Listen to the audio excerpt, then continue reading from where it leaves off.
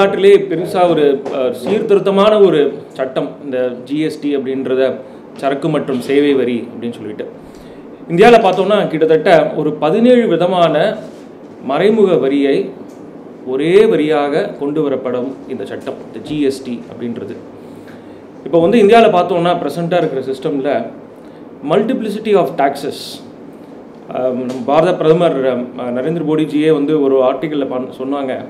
இந்த ஜிஎஸ்டி வந்து சக்ஸஸ்ஃபுல்லாக இம்ப்ளிமெண்ட் ஆச்சு அப்படின்னா இந்தியாவில் வந்து ஒரு வரி பயங்கரவாதத்துக்கான ஒரு முற்றுப்புள்ளியாக இது இருக்கும் அப்படின்னு சொல்லிட்டு. அதாவது it be an end to tax terrorism அப்படின்னு சொன்னாங்க. அதை வந்து நிறைய இடத்துல நம்ம வந்து ப்ரெசன்ட் லாவில் வந்து நிறைய இடத்துல அதை வந்து நம்ம நோட் பண்ண முடியும். ஒரு கூட்ஸ் வந்து இந்தியாவில் வந்து உற்பத்தி ஆகுது அப்படிங்கன்னா அதுக்கு வந்து நம்ம கலால் வரி எக்ஸைஸ் டியூட்டி லெவி பண்ணுறாங்க அந்த கூட்ஸ் வந்து வேற ஒரு மாநிலத்துக்கு விற்பனை செய்யும்போது சிஎஸ்டி அப்படின்னு சென்ட்ரல் சேல்ஸ் டேக்ஸ் அப்படின்ற ஒரு டேக்ஸ் போடுறோம். அந்த கூட்ஸை வந்து சரக்கை லோக்கலாக விற்கிறோம் அப்படின்னா அந்தந்த ஸ்டேட்டோட டேக்ஸை நம்ம விற்பனை பண்ணுறோம் இப்போ தொண்ணூற்றி நாலில் வந்து சேவைக்கும் வரி அப்படின்னு சொல்லிட்டு கொண்டு வந்தாங்க. பட் எஃபெக்டிவாக தொண்ணூற்றி நாலில் சிலதுக்கு மட்டும்தான் கொண்டு வந்தாங்க. இந்த சர்வீஸ் டேக்ஸ் கொண்டு வந்த அப்புறம் பார்த்தோம் அப்படின்னா நம்மளுக்கு வந்து ஒரு புதுவிதமான ஒரு குழப்பம். ஒரு நம்மளுக்கு இருந்த ஒரு கிளாரிட்டி வந்து பார்த்தோம்னா கூட்ஸ்னால் வந்து சேல்ஸ் டேக்ஸ் சர்வீசஸ்னால் சர்வீஸ் டேக்ஸ் அப்படின்னு இருந்தது. ஆனால் அது நாள் போக்கில் பார்த்தோம் அப்படின்னா எப்படி இருந்தது அப்படின்னா எது கூட்ஸ் எது சர்வீசஸ் அப்படின்றதே ஒரு பெரிய டிபேட் ஆகிடுச்சு இப்போ வந்து பார்த்தோம் அப்படின்னா வந்து இந்த ஹோட்டலுக்கு போகிறோம் நம்ம சாப்பிட்றோம். இட்- இட்லி ஆர்டர் பண்ணுறேன் வருது அப்படின்னா அந்த ஹோட்டலோட ஓனரை பர்ஸ்பெக்டிவில் வந்து இட்லின்றது வந்து ஒரு சேல்ஸாக இல்லாட்டா அவங்க வந்து ஒரு சேவை கொடுக்குறாங்களா? அதில் வந்து சேவை வரி போடணுமா? அப்படின்றதே ஒரு பெரிய குழப்பம். ஒரு ஜட்ஜ் சொன்னார் அது வந்து சேல் நீ வந்து டேக்ஸ் தான் போடணும் அப்படின்னா. ஏன்னா நம்மளுக்கு வந்து சேல்ஸ் டேக்ஸ் போட்டோம்னா தமிழ்நாடு டேக்ஸ் போட்டால் அது வந்து ஸ்டேட்டுக்கு போகும். அதே வந்து சர்வீஸ் டேக்ஸ் அப்படின்னு போட்டோம் அப்படின்னா மத்திய அரசுக்கான அந்த ரெவென்யூ ஸோ அப்படி பார்க்குறச்சே வந்து இந்த இந்த வரி பயங்கரவாதம் அப்படின்னு சொன்னதுக்கான ஒரு எடுத்துக்காட்டு இது சொல்லலாம். கடைசியில் வந்து இப்போது எண்ட் அஃபெக்ட் யார் யாருதுன்னு பார்த்தோம்னா கன்சியூமர் ரெண்டுமே வேண்டாம் ரெண்டுத்துமே போடு குழப்பமே வேண்டாம். இப்போ நம்ம போய் ஹோட்டலில் போய் ஒரு ஏசி ரெஸ்டாரண்ட்டில் சாப்பிட்டோம் அப்படின்னா அதில் வந்து சேல் சேல்ஸ் டேக்ஸும் இருக்கும் சர்வீஸ் டேக்ஸும் இருக்கும். ஏன்னா என் கன்சியூமர் தான் அதனால வந்து பாதிக்கப்படுறாங்க. அதே மாதிரி பார்த்தோம் அப்படின்னா வந்து இந்த குழப்பம் வந்து சாஃப்ட்வேர் கூட இருக்குது இந்த சாஃப்ட்வேர் இந்த ஐடியில் வந்து நிறைய வெப்சைட்ஸ்லாம் டெவலப் பண்ணி ஒரு சாஃப்ட்வேரை வந்து எழுதி கொடுக்குறச்சே வந்து சிடியில் போட்டு கொடுத்தா அப்படி வந்து கூட்ஸ் அதுக்கு வந்து சேல்ஸ் டேக்ஸ் போடணும். அப்படியே டிஜிட்டலாக கொடுத்தா வந்து அது சர்வீஸ் சர்வீஸ் டேக்ஸ் போடணும் அப்படின்னு சொன்னாங்க. அது மட்டும் கிடையாது இப்போ இந்த ஒரு சின்ன எடுத்துக்காட்டு இந்தியாவில் வந்து இந்த நிறைய டாக்ஸஸ் இருக்கிறதுல வந்து என்ட்ரி டேக்ஸ் அப்படின்னு சொல்லக்கூடிய ஒரு கான்செப்ட் இருக்குது இதில் வந்து நம்ம ரிசர்ச் பண்ணி பார்த்தோம் அப்படின்னா இந்த என்ட்ரி டேக்ஸ் அப்படின்றது எந்தெந்த சமயத்தில் எப்பப்பெல்லாம் உள்ள நுழைஞ்சுது அப்படின்னு பார்த்தோம் அப்படின்னா ஒரு பதினஞ்சு வருஷத்துக்கு முன்னாடி வந்து மாருதி கார் ஃபார் எக்ஸாம்பிள் இந்தியாவில் லான்ச் பண்ணாங்க. அப்போ வந்து அதுக்கான ரேட் வந்து ஒரு பதினாறு பர்சன்டேஜ் வந்து தமிழ்நாட்டில் ஃபிக்ஸ் பண்ணாங்க. அதே வந்து இன்றைக்கும் பார்த்தோம் அப்படின்னா இன்றைக்குமே இருக்கிற சுச்சுவேஷன்ஸில் நூற்றம்பது கிலோமீட்டர் தள்ளி இருக்கிற பாண்டிச்சேரியில் அந்த கூட்ஸ் வந்து ரெண்டு பர்சன்டேஜுக்கு விற்றாங்க ஸோ அதனால் எல்லாரும் என்ன பண்ணாங்க அப்படின்னா இங்கேருந்து ஒரு பஸ்ஸை பிடிச்சி போய் பாண்டிச்சேரியில் அந்த காரை வாங்கி பெட்ரோல் போட்டு நீங்கள் வந்துட்டாங்கன்னா கிட்டத்தட்ட பதினாலு பர்சன்டேஜ் சேவிங்ஸ் அதனால பார்த்தோம் அப்படின்னா அந்த டைமில் கான்ஸ்டிடியூஷனில் நம்மளுக்கு அமெண்ட் பண்ணி என்ட்ரி டேக்ஸ் நீ போய் பாண்டிச்சேரியில் கூட்ஸ் வாங்கு காரை ஆனால் அந்த காரை தமிழ்நாட்டில் ஓட்டணும் அப்படின்னா பதினாலு பர்சன்டேஜ் என்ட்ரி டேக்ஸ் ஏன்னா இந்தியாவில் வந்து எப்படி சொல்கிறாங்கன்னா டேக்ஸ் ஸ்ட்ரக்சரை இட்ஸ் ஃபெடரல் டேக்ஸ் ஸ்ட்ரக்சர் அப்படின்னு சொல்லுவோம் இந்தியாவில் மத்திய அரசும் மாநில அரசுக்கும் செமையாக வந்து உரிமை கொடுத்துருப்பட்டிருக்கு அதாவது இந்த டேக்ஸ் லெவி பண்ணுறதுக்கு வந்து. அதனால தான் வந்து ஜிஎஸ்டியை கூட நம்ம வந்து நிறைய கண்ட்ரீஸில் வந்து சிங்கிள் ஜிஎஸ்டி மாடல் இருக்குது பட் ஒரு பத்து ஜிஎஸ்டி பத்து கண்ட்ரியில் பார்த்தோம் அப்படின்னா வந்து டுவல் ஜிஎஸ்டி மாடல் தான் அடாப்ட் பண்ணுறோம் அதாவது சென்ட்ரல் ஸ்டேட் இப்போ ஏன்னா நிறைய பேர் கேள்வி கேட்கலாம். ஒன் நேஷன் ஒன் டேக்ஸ் அப்படின்னு சொல்கிறாங்களே அப்போ எதுக்கு வந்து மல்டிபிள் ஜிஎஸ்டி டாக்ஸஸ் நம்ம போடுறோம் அப்படின்னு இந்தியாவில் இருக்கிற சட்டம் படி கான்ஸ்டியூஷன் படி பார்த்தோம் அப்படின்னா ஃபெடரல் டாக்ஸ் ஸ்ட்ரக்சர் மத்திய அரசுக்கும் மாநில அரசுக்கும் சம உரிமை கொடுத்து தான் பண்ணியிருக்காங்க. அதனால தான் வந்து நம்ம இந்தியாவில் வந்து டுவல் ஜிஎஸ்டி மாடல் இது வந்து சிங்கிள் டேக்ஸ் தான். அதை வந்து சென்ட்ரலுக்கு எவ்வளோ ஸ்டேட்டுக்கு எவ்வளோன்னு பிரித்து காண்பிக்கிறதுக்காக நம்ம வந்து சிஜிஎஸ்டி அண்ட் தமிழ்நாடு ஜிஎஸ்டி அப்படின்னு போகிறோம் ஸோ அதனால் இந்த ஜிஎஸ்டி சக்ஸஸ்ஃபுல்லாக இம்ப்ளிமெண்ட் ஆச்சுன்னா இது வரைக்கும் இருந்த குழப்பம். இந்த என்ட்ரி டேக்ஸு அது மாதிரி ஆல் ஓவர் த எல்லா ஸ்டேட்டுமே வந்து இப்போ பாண்டிச்சேரியிலையும் ஒரே ரேட்டு தான் இருக்கும். இங்கேயும் ஒரே தான் ஒரே ரேட்டு தான் இருக்கும். ஸோ அதனால் நிறைய பேர் வந்து பாண்டிச்சேரியில் ஷோரூம் ஓப்பன் பண்ணி அந்த வேட் கன்செஷனை வந்து லோக்கலாக அவைல் பண்ணணுன்ட்டுலாம் பண்ணுவாங்க. இனிமேல் அதெல்லாம் தேவையே இருக்காது. ஸோ அதனால தான் வந்து இந்த ஒன் நேஷன் ஒன் மார்க்கெட் அப்படின்ற ஒரு கரெக்டான ஒரு டேக்லைன் இங்கே கொடுத்துருக்கு. இந்தியா வந்து குளோபலாக வந்து ஒரே மார்க்கெட்டாக இருக்கும். நம்ம வந்து தமிழ்நாட்டில் ஒரு ப்ராடக்ட்டை வாங்கினாலும் அதே ரேட்டு தான் இருக்கும். அதே மகாராஷ்டிரா மும்பையில் வாங்கினாலும் ஒரே ரேட்டாக தான் இருக்கும். இந்த ஜிஎஸ்டி வந்தோட அடுத்தது வந்து இந்த ஜிஎஸ்டி வந்து எதில் லெவி பண்ண போகிறோம் அப்படின்னு பார்த்தோம் அப்படின்னா இதனால் வந்து கூட்ஸ் ஒரு உற்பத்தி ஆரம்பிச்சு நம்ம கலால் வரி போடுறோம். விற்பனை பண்ணுறச்சே சேல்ஸ் சேல்ஸுன்ற ஒரு ஈவெண்ட்டு இந்த ஜிஎஸ்டியில் வந்து சப்ளை அப்படின்ற வேர்டு வந்து ஒரு முக்கியமான ஒரு பங்கு. ஜிஎஸ்டியில் எதில் பண்ண போகிறோம்னா சப்ளை அந்த சப்ளை அப்படின்றது வந்து சப்ளை ஆஃப் கூட்ஸாகவும் இருக்கலாம் சர்வீசஸாகவும் இருக்கலாம். அதே வந்து ஒரு ஒரு ஒரு நான் ஒரு லேப்டாப் வச்சுருக்கேன். அந்த லேப்டாப்பை வந்து நான் விற்கிறேன்னு வைங்க. ஓனர்ஷிப் மாறுது. இதுவும் சப்ளை தான். நான் வந்து இந்த லேப்டாப்பை வந்து ஒரு வாரத்துக்கு வாடகைக்கு தரேன். அதுவும் சப்ளை தான். அது சர்வீசஸ் ஆகிடுது அதுக்கும் நான் வந்து ஜிஎஸ்டி போடணும் அப்படின்னு சொல்கிற ஒரு ஈவெண்ட்டை கொண்டு வந்துடுறாங்க இந்த டாக்ஸஸ் வந்து எப்படி லெவி பண்ண போகிறாங்க அப்படின்னு பார்த்தோம்னா மூணு விதமான டாக்ஸஸ் பேர் சொல்கிறாங்க ஒன்று வந்து சிஜிஎஸ்டி அப்படின்னு சொல்கிறாங்க அதாவது central goods and service tax மத்திய சரக்கு மற்றும் சேவை வரி. அடுத்தது வந்து எஸ்ஜிஎஸ்டி அப்படின்னு சொல்கிறாங்க state goods and service tax இந்த எஸ்ஜிஎஸ்டின்றது ஒரு ஒரு ஸ்டேட்டுக்கும் ஒரு ஒரு லா இருக்கும். இப்போ Tamil Nadu GST Karnataka GST Kerala GST அப்படின்னு இருக்கும். அதுக்கு அடுத்தது ஐஜிஎஸ்டி அப்படின்னு சொல்கிறாங்க integrated goods and service tax ஒருங்கிணைந்த சரக்கு மற்றும் சேவை வரி அப்படின்னு சொல்கிறாங்க இந்த ஸ்டேட் ஜிஎஸ்டி வந்து யூனியன் டெரிட்டரியில் வந்து யூடிஜிஎஸ்டி அப்படின்னு இருக்கும். ஆனால் இதில் வந்து பாண்டிச்சேரியும் த- டெல்லியும் வந்து யூனியன் டெரிட்டரி இல்லை ஃபார் திஸ் பர்பஸ் ஏன்னா அங்கே ஸ்டேட் லெஜிஸ்லேச்சர் இருக்கிறதுனால அதை வந்து ஸ்டேட் ஜிஎஸ்டின்னு தான் சொல்லுவாங்க இந்த ஜிஎஸ்டி லா சட்டத்தில். இந்த சப்ளை அப்படின்றது வந்து எந்த சப்ளைக்கு எந்த டாக்ஸை போடுவோம் அப்படின்னு பார்த்தோம் அப்படின்னா ரெண்டாக பிரிக்கிறாங்க. இந்த சப்ளை வந்து வித்தின் த ஸ்டேட் அதாவது விற்கிறவரும் அந்த கூட்ஸை டெலிவர் பண்ணுறது ஒரே ஸ்டேட் வித்தின் த ஸ்டேட்டாக இருந்தது அப்படின்னா அதுக்கு பேர் இன்ட்ரா ஸ்டேட் சப்ளை அப்படின்னு சொல்கிறாங்க அந்த சப்ளை வந்து ஆரிஜினேட் ஆகிறது ஒரு state recipient place of supply வந்து இன்னொரு ஸ்டேட்டில் இருந்தது அப்படின்னா அதுக்கு பேர் இன்டர் ஸ்டேட் சப்ளை அப்படின்னு சொல்கிறாங்க இன்ட்ரா ஸ்டேட் சப்ளையாக இருந்தது அப்படின்னா அதில் வந்து ரெண்டு டேக்ஸ் போடணும். சிஜிஎஸ்டி அண்ட் இப்போ தமிழ்நாடுல இருந்ததுன்னா தமிழ்நாடு ஜிஎஸ்டி அப்படின்னு சொல்லிட்டு. ஃபார் எக்ஸாம்பிள் ஒரு சரக்கோட விற்பனை விலை ஒரு லட்ச ரூபா அப்படின்னு வச்சோன்னா நான் இன்வாய்ஸில் எப்படி காட்டணும் அப்படின்னா வேல்யூ ஒன் லேக் இதனால நம்ம ஆடு வேட்டு ஆடு இந்த எக்ஸைஸ் டியூட்டி அதெல்லாம் பண்ணியிருந்தோம் இல்லையா? அதுக்கு பதிலாக விலை ஒரு லட்சம். ஆட் சிஜிஎஸ்டி ஒரு ப்ராடக்ட் ரோட்டு பதினெட்டு பர்சன்டேஜ் ரேட்டாக இருந்ததுன்னா அது ஈக்குவலாக பிரிக்கிறாங்க மத்திய அரசுக்கும் மாநில அரசுக்கும். ஆட் சிஜிஎஸ்டி ஒன்பது பர்சன்டேஜ் ஒன்பதாயிரம். ஆட் தமிழ்நாடு ஜிஎஸ்டி ஒன்பது பர்சன்டேஜ் ஒன்பதாயிரம். மொத்தம் பதினெட்டாயிரம் ஒரு லட்சத்தி பதினெட்டாயிரம் அப்படின்னு பிரித்து காட்டுறோம். இதே வந்து சப்ளை வந்து இன்டர் ஸ்டேட்டாக இருந்தது அப்படின்னா நம்ம இந்த பிரேக்கப் காட்ட வேண்டாம். நம்ம இன்வாய்ஸில் சிஜிஎஸ்டி ஆர் ஐஜிஎஸ்டி அப்படின்னு சொல்லிட்டு one lakh value add IGST பதினெட்டு பர்சன்டேஜ் அப்படின்னு காமிச்சா போதும். அதை வந்து நம்ம சென்டருக்கு பே பண்ணிடுறோம். அதுக்கப்புறமாக central will take the responsibility அதாவது மத்திய அரசுக்கும் மாநில அரசுக்கும் அதை எப்படி வந்து பிரிச்சுக்கணும் அப்படின்றத அது.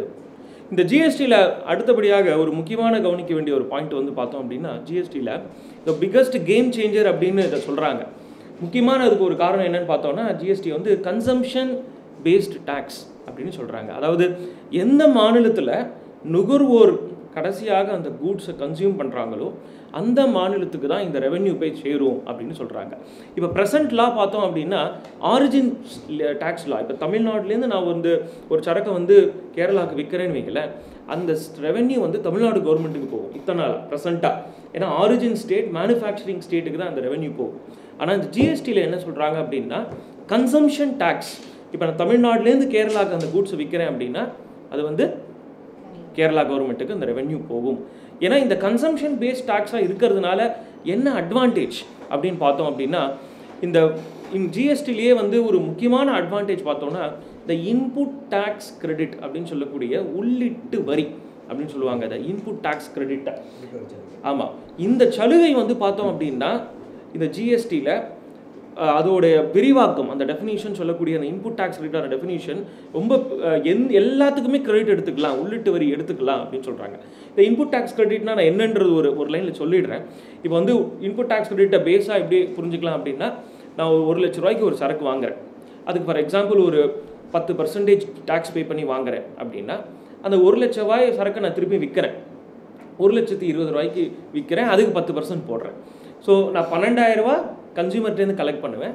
ஆனால் பத்தாயிரம் ரூபா அந்த ஒரு லட்சத்தில் பே பண்ணியிருப்பேன் இதை ரெண்டுத்தையும் செட் ஆஃப் பண்ணிவிட்டு பாக்கி ரெண்டாயிரத்தை மட்டும்தான் நான் கவர்மெண்ட்டு கட்ட போகிறேன் ஸோ அந்த இன்புட் டேக்ஸ் கிரெடிட் அப்படின்றது வந்து நான் சரக்கு வாங்குறச்சே என்ன டேக்ஸ் பே பண்ணணும் அதை வந்து நான் சரக்கு விற்கிறச்சே கலெக்ட் பண்ணுற டேக்ஸில் செட் ஆஃப் பண்ணிக்கலாம். இதுக்கு பேர் தான் இன்புட் டேக்ஸ் கிரெடிட் அப்படின்னு பேர்.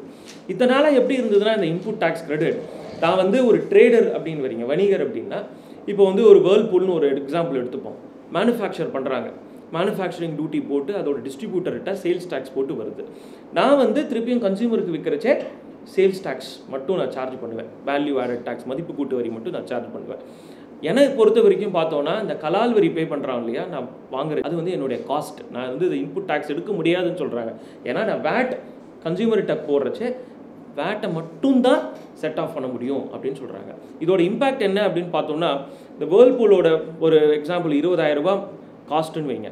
அதில் பன்னெண்டரை பர்சன்ட் எக்ஸைஸ் டியூட்டி போடுறாங்க. அப்போனா அந்த இருபதாயிரவோட பன்னெண்டரை பர்சன்ட் கூடுது.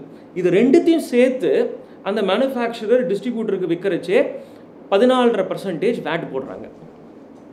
வேறு ஒரு மாநிலத்திலேருந்து வந்ததுன்னா ரெண்டு பர்சன்டேஜ் கன்செஷனல் சென்ட்ரல் சேல்ஸ் டேக்ஸை போடுறாங்க. நான் இப்போ இதை வந்து கன்சியூமருக்கு விற்கிறச்சே பார்த்தோம் அப்படின்னா ஒரு வேட் பே பண்ணி வாங்கினேன் அப்படின்னா அந்த மதிப்பு கூட்டு வரியை செட் ஆஃப் பண்ணிக்கலாம். ஆனால் அந்த சிஎஸ்டி இன்ட்ரெஸ்டேட் நான் பார்த்து வேறு ஒரு மாநிலத்திலேருந்து வாங்கி லோக்கலாக விற்றேன்னு வைங்க. அந்த சிஎஸ்டி பே பண்ணுறேன் இல்லையா? அதை வந்து கிரெடிட் அலோவ் பண்ண மாட்டாங்க. இன்புட் டேக்ஸ் கிரெடிட் ஏன் அப்படின்னு பார்த்தோம் அப்படின்னா நான் முன்னாடி சொன்ன லாஜிக் ஆரிஜின் பேஸ்டு டேக்ஸ் ஒரு கேரளாலேருந்து ஒரு கூட்ஸ் இங்கே வருதுன்னா அந்த ரெவென்யூ கேரளாவுக்கு போயிருக்கும் இத்தனை நாளாக நான் அது லோக்கலாக தமிழ்நாடு கவர்மெண்ட்டில் விற்கிறச்சே அந்த சிஎஸ்டியை வந்து தமிழ்நாடு கவர்மெண்ட் கிரெடிட் தர மாட்டாங்க. ஏன்னா அந்த ரெவென்யூ கேரளா கவர்மெண்ட்டுக்கு போயிருக்கு. அதனால் இந்த ஜிஎஸ்டி சட்டத்தில் வந்து கன்சம்ஷன் டேக்ஸ் நுகர்வோர் எங்கே இருக்காங்களோ அந்த இடத்துக்கு வந்து இந்த டேக்ஸ் போகும் அப்படின்றது நம்ம செயினை மாற்றின உடனே வேறு ஒரு மாநிலத்திலேருந்தும் நம்ம சரக்கை வாங்கி இங்கே லோக்கலாக விற்றா கூட கிரெடிட் எடுத்துக்க முடியுது. அது மட்டும் கிடையாது வந்து இதனால் நான் வந்து ட்ரேடர் அப்படின்னா எக்ஸைஸ் டியூட்டி பே பண்ணியிருந்தேன்னா நான் அதை கிரெடிட் எடுத்துக்க முடியாது. அது மட்டும் கிடையாது சர்வீஸ் டேக்ஸ் பே பண்ணேன்னு வைங்க அதையும் நான் கிரெடிட் எடுத்துக்க முடியாது. இப்போ நான் வந்து ஒரு கூட்ஸை வாங்கி நான் விற்கிறேன் அப்படிங்கும்போது இந்த ப்ராஃபிட் அண்ட் லாஸ் அக்கௌண்ட்டில் என்னென்ன எக்ஸ்பென்சஸ்லாம் வரும்னு பாருங்கள் ஜஸ்ட் ஒரு விஷுவலைஸ் பண்ணோம். நான் எல்லாருக்குமே பிஎன்எல் அக்கௌண்ட் விஷுவலைஸ் பண்ணலாம் ஈஸியாக நான் வந்து என்னோட பிஸ்னஸ் பே பண்ணுறது நடத்துறதுக்கு ரெண்ட் பே பே பண்ணுறேன் வாடகை. டெலிஃபோன் பில் பே பண்ணுறேன் எல்லாருமே வந்து இந்த கணக்கு பதிவு பண்ணுறதுக்காக ஆடிட்டர் வச்சுருப்பாங்க. ஆடிட்டர் அவரோட பில்லில் சர்வீஸ் டேக்ஸ் போடுவாங்க. இது எல்லாத்துலேயுமே வந்து நான் பிஎஸ்என்எல் டெலிஃபோனில் சர்வீஸ் டேக்ஸ் பே பண்ணுறேன் ரெண்ட்டு வாடகை பே பண்ண சர்வீஸ் டேக்ஸ் பே பண்ணுறேன் ஆடிட்டர் பில்லில் சர்வீஸ் டேக்ஸ் பே பண்ணுறேன் ஆனால் இது எல்லாத்தையுமே நான் கிரெடிட் எடுத்துக்க முடியாது. நான் ஒரு வணிகராக இருந்தேன் அப்படின்னா. ஏன்னா நான் பே பண்ணக்கூடியது கவர்மெண்ட்டுக்கு கன்சியூமர்கிட்டேருந்து கலெக்ட் பண்ணுறது இந்த மதிப்பு கூட்டு வரியாக இருக்கும். ஏன்னா வேட்டுன்றது ஸ்டேட் கவர்மெண்ட்டுக்கு போகுது. சர்வீஸ் டேக்ஸ்ன்றது சென்ட்ரல் கவர்மெண்ட்டுக்கு போகுது. இதை வந்து செட் ஆஃப் பண்ண அலோவ் பண்ண மாட்டாங்க. ஆனால் இந்த ஜிஎஸ்டின்னு வந்தோடனே எல்லாமே இனிமேல் ஜிஎஸ்டி தான். வேட்டுன்றது தனியாக கிடையாது சென்ட்ரல் எக்ஸைஸ்ன்றது தனியாக கிடையாது அதுமாரி சர்வீஸ் டேக்ஸ்ன்றது தனியாக கிடையாது எல்லாத்துலேயுமே ஜிஎஸ்டி தான் இருக்க போகிறது ஸோ அதனால் நான் பிஸ்னஸ் பண்ணுறச்சே வந்து என்னென்ன எக்ஸ்பென்சஸ் பண்ணுறேனோ எதுக்கு அது எல்லாத்துக்குமே நான் வரி பே பண்ணியிருப்பேன் அதான் ஒரே வரி தான் ஜிஎஸ்டி அப்படின்றது. அதனால நான் வந்து என்னுடைய கன்சியூமருக்கு சரக்கோ சேவையோ பண்ணுறச்சே நான் என்னோடய இன்வாய்ஸில் ஜிஎஸ்டி கலெக்ட் பண்ணுவேன் இல்லையா? அதை வந்து எல்லாத்தையும் செட் ஆஃப் பண்ணிக்கலாம். இது வந்து பார்த்தோன்னா ஒரு பெரிய அட்வான்டேஜ் இத்தனால வந்து நான் ஒரு வாடகை ஒரு லட்ச ரூபா பே பண்ணுறேன் அதில் பதினஞ்சு பர்சன்டேஜ் சர்வீஸ் டேக்ஸ் போட்டிருந்தாங்கன்னா அதில் பதினஞ்சாயிரரூபா எனக்கு காஸ்ட் இத்தனாலாக இப்போ வந்து அது எனக்கு ஒரு லாபம். கிரெடிட் நான் கிரெடிட் எடுத்துக்கலாம். பிஎஸ்என்எல் பில் எனக்கு ஆயிரரூபா வந்து ஒரு வணிகருக்கு வருதுன்னா அதில் பதினஞ்சு பர்சன்டேஜ் சர்வீஸ் டேக்ஸ் இத்தனால அது வந்து காஸ்ட் இனிமேல் நான் அதை கிரெடிட் எடுத்துக்கலாம். இதுதான் ஒரு முக்கியமான பாயிண்ட் நிறைய பேர் வந்து சொல்லுவாங்க சார் இந்த வந்து சேவை வரி பதினஞ்சு பர்சன்ட்லேருந்து பதினெட்டு பர்சன்டேஜ் ஆயிருக்கு. இதனால வந்து காஸ்ட் கூடுமா அப்படின்னு பார்த்தோன்னா ஒரு குட்டி எக்ஸாம்பிள் எடுத்துக்கோங்க. பேங்க் அப்படின்னு ஒரு எக்ஸாம்பிள் எடுத்துப்போம். பேங்க்கில் வந்து பார்த்தோம் அப்படின்னா லோனுக்கு வந்து ப்ராசஸிங் சார்ஜ்னு போடுறாங்க. இந்த ப்ராசஸிங் சார்ஜ் வந்து சர்வீஸ் டேக்ஸ் போடுவாங்க. பதினஞ்சு பர்சன்டேஜ் இப்போ அது பதினெட்டு பர்சன்டேஜ் ஆகும்போது நுகர்வோருக்கு வந்து காஸ்ட் கூடுதலாக இருந்தா அப்படின்னு கேட்பாங்க. அதில் முக்கியமான பார்க்க வேண்டியது பாயிண்ட்டு ஒரு ஒரு பேங்க்கும் எவ்வளோ இன்ஃப்ராஸ்ட்ரக்சர் இன்வெஸ்ட் பண்ணுறாங்க ஏடிஎம் மிஷின் கம்ப்யூட்டர் ஒரு கோடி ரூபாய்க்கு அவங்க வந்து ஒரு கம்ப்யூட்டர் அந்த ஏடிஎம் மிஷின் வாங்குறாங்கன்னா இதனால் பதினாலரை பர்சன்டேஜ் வேட் பே பண்ணி வாங்குறாங்க. ஆர் டேக்ஸ் மற்ற அதர் சேல்ஸ் டேக்ஸ் பே பண்ணி வாங்குறாங்க. அதை அவங்க பேங்க் கிரெடிட் எடுத்துக்க முடியாது. ஏன்னா அவங்க பே பண்ணுறது சர்வீஸ் டேக்ஸ் அவங்க பொருளுக்கு பே பண்ணி வாங்கினது சேல்ஸ் டேக்ஸ் இது செட் ஆஃப் பண்ண முடியாது. இப்போ கோயிங் ஃபார்வர்டு பார்த்தோம் அப்படின்னா அவங்க கன்சியூமர்கிட்டேருந்து கலெக்ட் பண்ணது ஜிஎஸ்டியாக தான் இருக்கும். அவங்க இந்த கம்ப்யூட்டர் எல்லாமும் வாங்கினதும் ஜிஎஸ்டியாக தான் இருக்கும். செட் ஆஃப் பண்ணிக்கலாம். இந்த பதினஞ்சு லட்ச ரூபா இத்தனை நாள் வரைக்கும் அவங்களுக்கு ஒரு எடுத்துக்காட்டுக்கு காஸ்ட்டு இனிமேல் வந்து சேவிங்ஸ் இதனால் அவங்களுடைய காஸ்ட் ஆஃப் ஆப்ரேஷன்ஸ் கம்மி ஆகும் இத்தனை நாளாக நான் வந்து ஒரு லோனுக்கு வந்து என்னுடைய ப்ராஃபிட் மார்ஜின் ரெண்டு பர்சன்டேஜ்னா ஜிஎஸ்டி வந்தோடனே மூணு பர்சன்டேஜ் ஆகும் நாலு பர்சன்டேஜ் ஆகும். இந்த ஜிஎஸ்டி சட்டத்திலே வந்து நம்ம முக்கியமான நோட் பண்ண வேண்டிய ஒரு பாயிண்ட் பார்த்தோம் அப்படின்னா ரொம்ப தெளிவாக கொடுத்துருக்கிறது வந்து ஆன்டி ப்ராஃபிட் கிளாஸ் அப்படின்னு ஒன்று இருக்குது ஆன்டி ப்ராஃபிட்டரிங் கிளாஸ் இது என்ன இதில் என் கிளாஸில் என்ன சொல்கிறாங்க அப்படின்னா வரினால் ஒரு ட்ரேடருக்கோ ஒரு பிஸ்னஸ் மேனுக்கு ஒரு பெனிஃபிட் இருக்குது அப்படின்னா அந்த பெனிஃபிட்டை வந்து அவங்க பேக்கெட் பண்ணிக்கக்கூடாது கன்சியூமருக்கு அதை கண்டிப்பாக பாஸ் பண்ணணும் அப்படின்னு சொல்கிறாங்க ஸோ அதனால் நம்ம இதுக்கு கன்க்ளூஷன் என்ன வரும் அப்படின்னா லோன் சர்வீஸ் டேக்ஸ் இப்போ பதினஞ்சு பர்சன்டேஜ்லேருந்து ஜிஎஸ்டியில் பதினெட்டு பர்சன்டேஜ் ஆயிருக்கலாம். அதனால் கன்சியூமருக்கு அந்த வந்து காஸ்ட் கூடுதல் ஆகாது. எப்போ பேங்க் வந்து அவங்களுடைய ப்ராசஸிங் சார்ஜை நூறுரூவாலேருந்து தொண்ணூத்தஞ்சு ரூபாவை கம்மி பண்ணுறதுக்கான வாய்ப்புகள் இதில் இருக்குது இது வந்து பேங்க் பண்ணுவானா அப்படின்னு கேட்டானா அதுக்கு சட்டத்தில் வரைமுடிப்பட்ட ஒரு கிளாஸ் இருக்குது அதுக்கு தான் ஆன்டி ப்ராஃபிட்டரிங் கிளாஸ் உன்னுடைய காஸ்ட்டை கம்மி பண்ணியே ஆகணும். இத்தனால உனக்கு ஏன்னா காஸ்ட் இப்போ நீ வேட்டை வந்து நீ பே பண்ணது காஸ்ட் அதனால உன்னோட ப்ராசஸிங் சார்ஜ் நூறுரூவா இருந்தது. இப்போ அது காஸ்ட் இல்லை. அந்த பதினஞ்சு லட்ச ரூபா. ஸோ அதனால உன்னோட ப்ராசஸிங் சார்ஜ் தொண்ணூத்தஞ்சாக ஆக வேண்டும். அதில் பதினெட்டு பர்சன்டேஜ் போட்டால் இப்போ ப்ரெசண்ட்டாக இருக்கிற காஸ்ட்டோட கம்மியாக தான் நுகர்வோருக்கு ஆகும் அப்படின்றது. ஸோ இது மாதிரி இந்த பேங்க் அப்படின்னு ஒரு எக்ஸாம்பிள் எடுக்குது அதே மாதிரி எல்லா எக்ஸாம்பிள்லையுமே எல்லா ட்ரேடருக்குமே இந்த பெனிஃபிட் கண்டிப்பாக இந்த ஆன்டி ப்ராஃபிட்டரிங் கிளாஸ் இதுக்காக வந்து என்ன வந்து நடைமுறை எடுத்திருக்காங்க அப்படின்னு பார்த்தோம்னா ஆன்டி ப்ராஃபிட்டரிங் கமிட்டின்னு ஒன்று செட் பண்ண போகிறாங்க அதுக்கான ரூல்ஸ்லாம் எஸ்டாப்ளிஷ் பண்ணிட்டாங்க. ஒரு நாலு குழு. இதுக்காக நாலு பேர் கண் கொண்ட குழுவை வந்து அமைச்சு இதை வந்து மானிட்டர் பண்ணுறதுக்காக இதை உடனே பண்ண முடியாது பட் ஜிஎஸ்டி ஃபஸ்ட் சக்ஸஸ்ஃபுல்லாக இம்ப்ளிமெண்ட் ஆன உடனே வணிகருக்கு வந்து இந்த ஜிஎஸ்டினால் ஒரு லாபம் இருக்குன்னா அதை கன்சியூமருக்கு கண்டிப்பாக பாஸ் பண்ணணும். இந்த ப்ரைஸ் ரிடக்ஷன் ஸோ அதனால் நம்மளுக்கு வந்து எல்லா இடத்துலையுமே வந்து சார் இதனால் உங்களுக்கு நிறைய பேர் சொல்லுவாங்க சார் இந்த பொருளுக்கு வந்து ப்ரீ ஜிஎஸ்டி இந்த ரேட்டு இப்போ வந்து இந்த ரேட் இந்த சர்வீசஸ் மாதிரி சொல்லுவாங்க. நம்ம எடுத்துகிட்டு போக வேண்டியது வந்து இந்த ஆன்டி ப்ராஃபிட்டரிங் கிளாஸ் இருக்கிறதுனால அந்த பெனிஃபிட்டை கன்சியூமர் சார் பேங்க் வந்து கண்டிப்பாக இதை கன்சியூமருக்கு கொடுப்பானா அப்படின்னு பார்த்தோம் அப்படின்னா நம்மளுக்கு இன்றைக்கி இருக்கிறது வந்து காம்படிஷன் வேர்ல்டு நூறு பேங்க்கில் ஒரு bank State Bank of India கண்டிப்பாக அந்த அந்த பெனிஃபிட்டை ஆரம்பிச்சிட்டா அப்படின்னா ப்ராசஸிங் சார்ஜை எல்லா பேங்க்கும் கண்டிப்பாக அதை பண்ண தான் ஆவாங்க. அதை தவிர்த்து இந்த மானிட்டரிங் கமிட்டியும் சட்டப்பூர்வமாக இருக்குது அதை பண்ணுறாங்களா அப்படின்னு சொல்லிட்டு. சார் அது எப்படி வந்து கண்காணிக்க போகிறாங்க அப்படின்னு பார்த்தோம் அப்படின்னா அதுக்கு வந்து ரூல்ஸ் வச்சுருக்காங்க. அவங்களுடைய அக்கௌண்ட்ஸை ஸ்டடி பண்ணி ஃபார் எக்ஸாம்பிள் ப்ராஃபிட் ரேஷியோ அப்படின்னு எல்லாருக்குமே புரிந்துக்குள்ளே ஒரு டேர்ம் அது. ப்ரீ ஜிஎஸ்டிக்கும் போஸ்ட் ஜிஎஸ்டிக்கும் உங்களுடைய கணக்கில் ப்ராஃபிட் ரேஷியோ என்னன்னு பார்ப்பாங்க. ப்ராஃபிட் ரேஷியோ கூடிரு. ஏன்னா உங்களுக்கு அதோட சேல்ஸ் இன்க்ரீஸாக இருக்கலாம். ஆனால் ரேஷியோன்றது ஒன்றா தான் இருக்கணும். இல்லைங்களா? அப்படி பார்க்குறச்சே ப்ரீ ஜிஎஸ்டிக்கும் போஸ்ட் ஜிஎஸ்டிக்கும் இன்க்ரீஸ் ஆயிருந்ததுன்னா அதை வந்து ஸ்டடி பண்ணுவாங்க. இந்த லாபம் வந்து உங்களுக்கு ஜிஎஸ்டினால தான் வந்திருக்கா அப்படின்னு சொல்லிட்டு.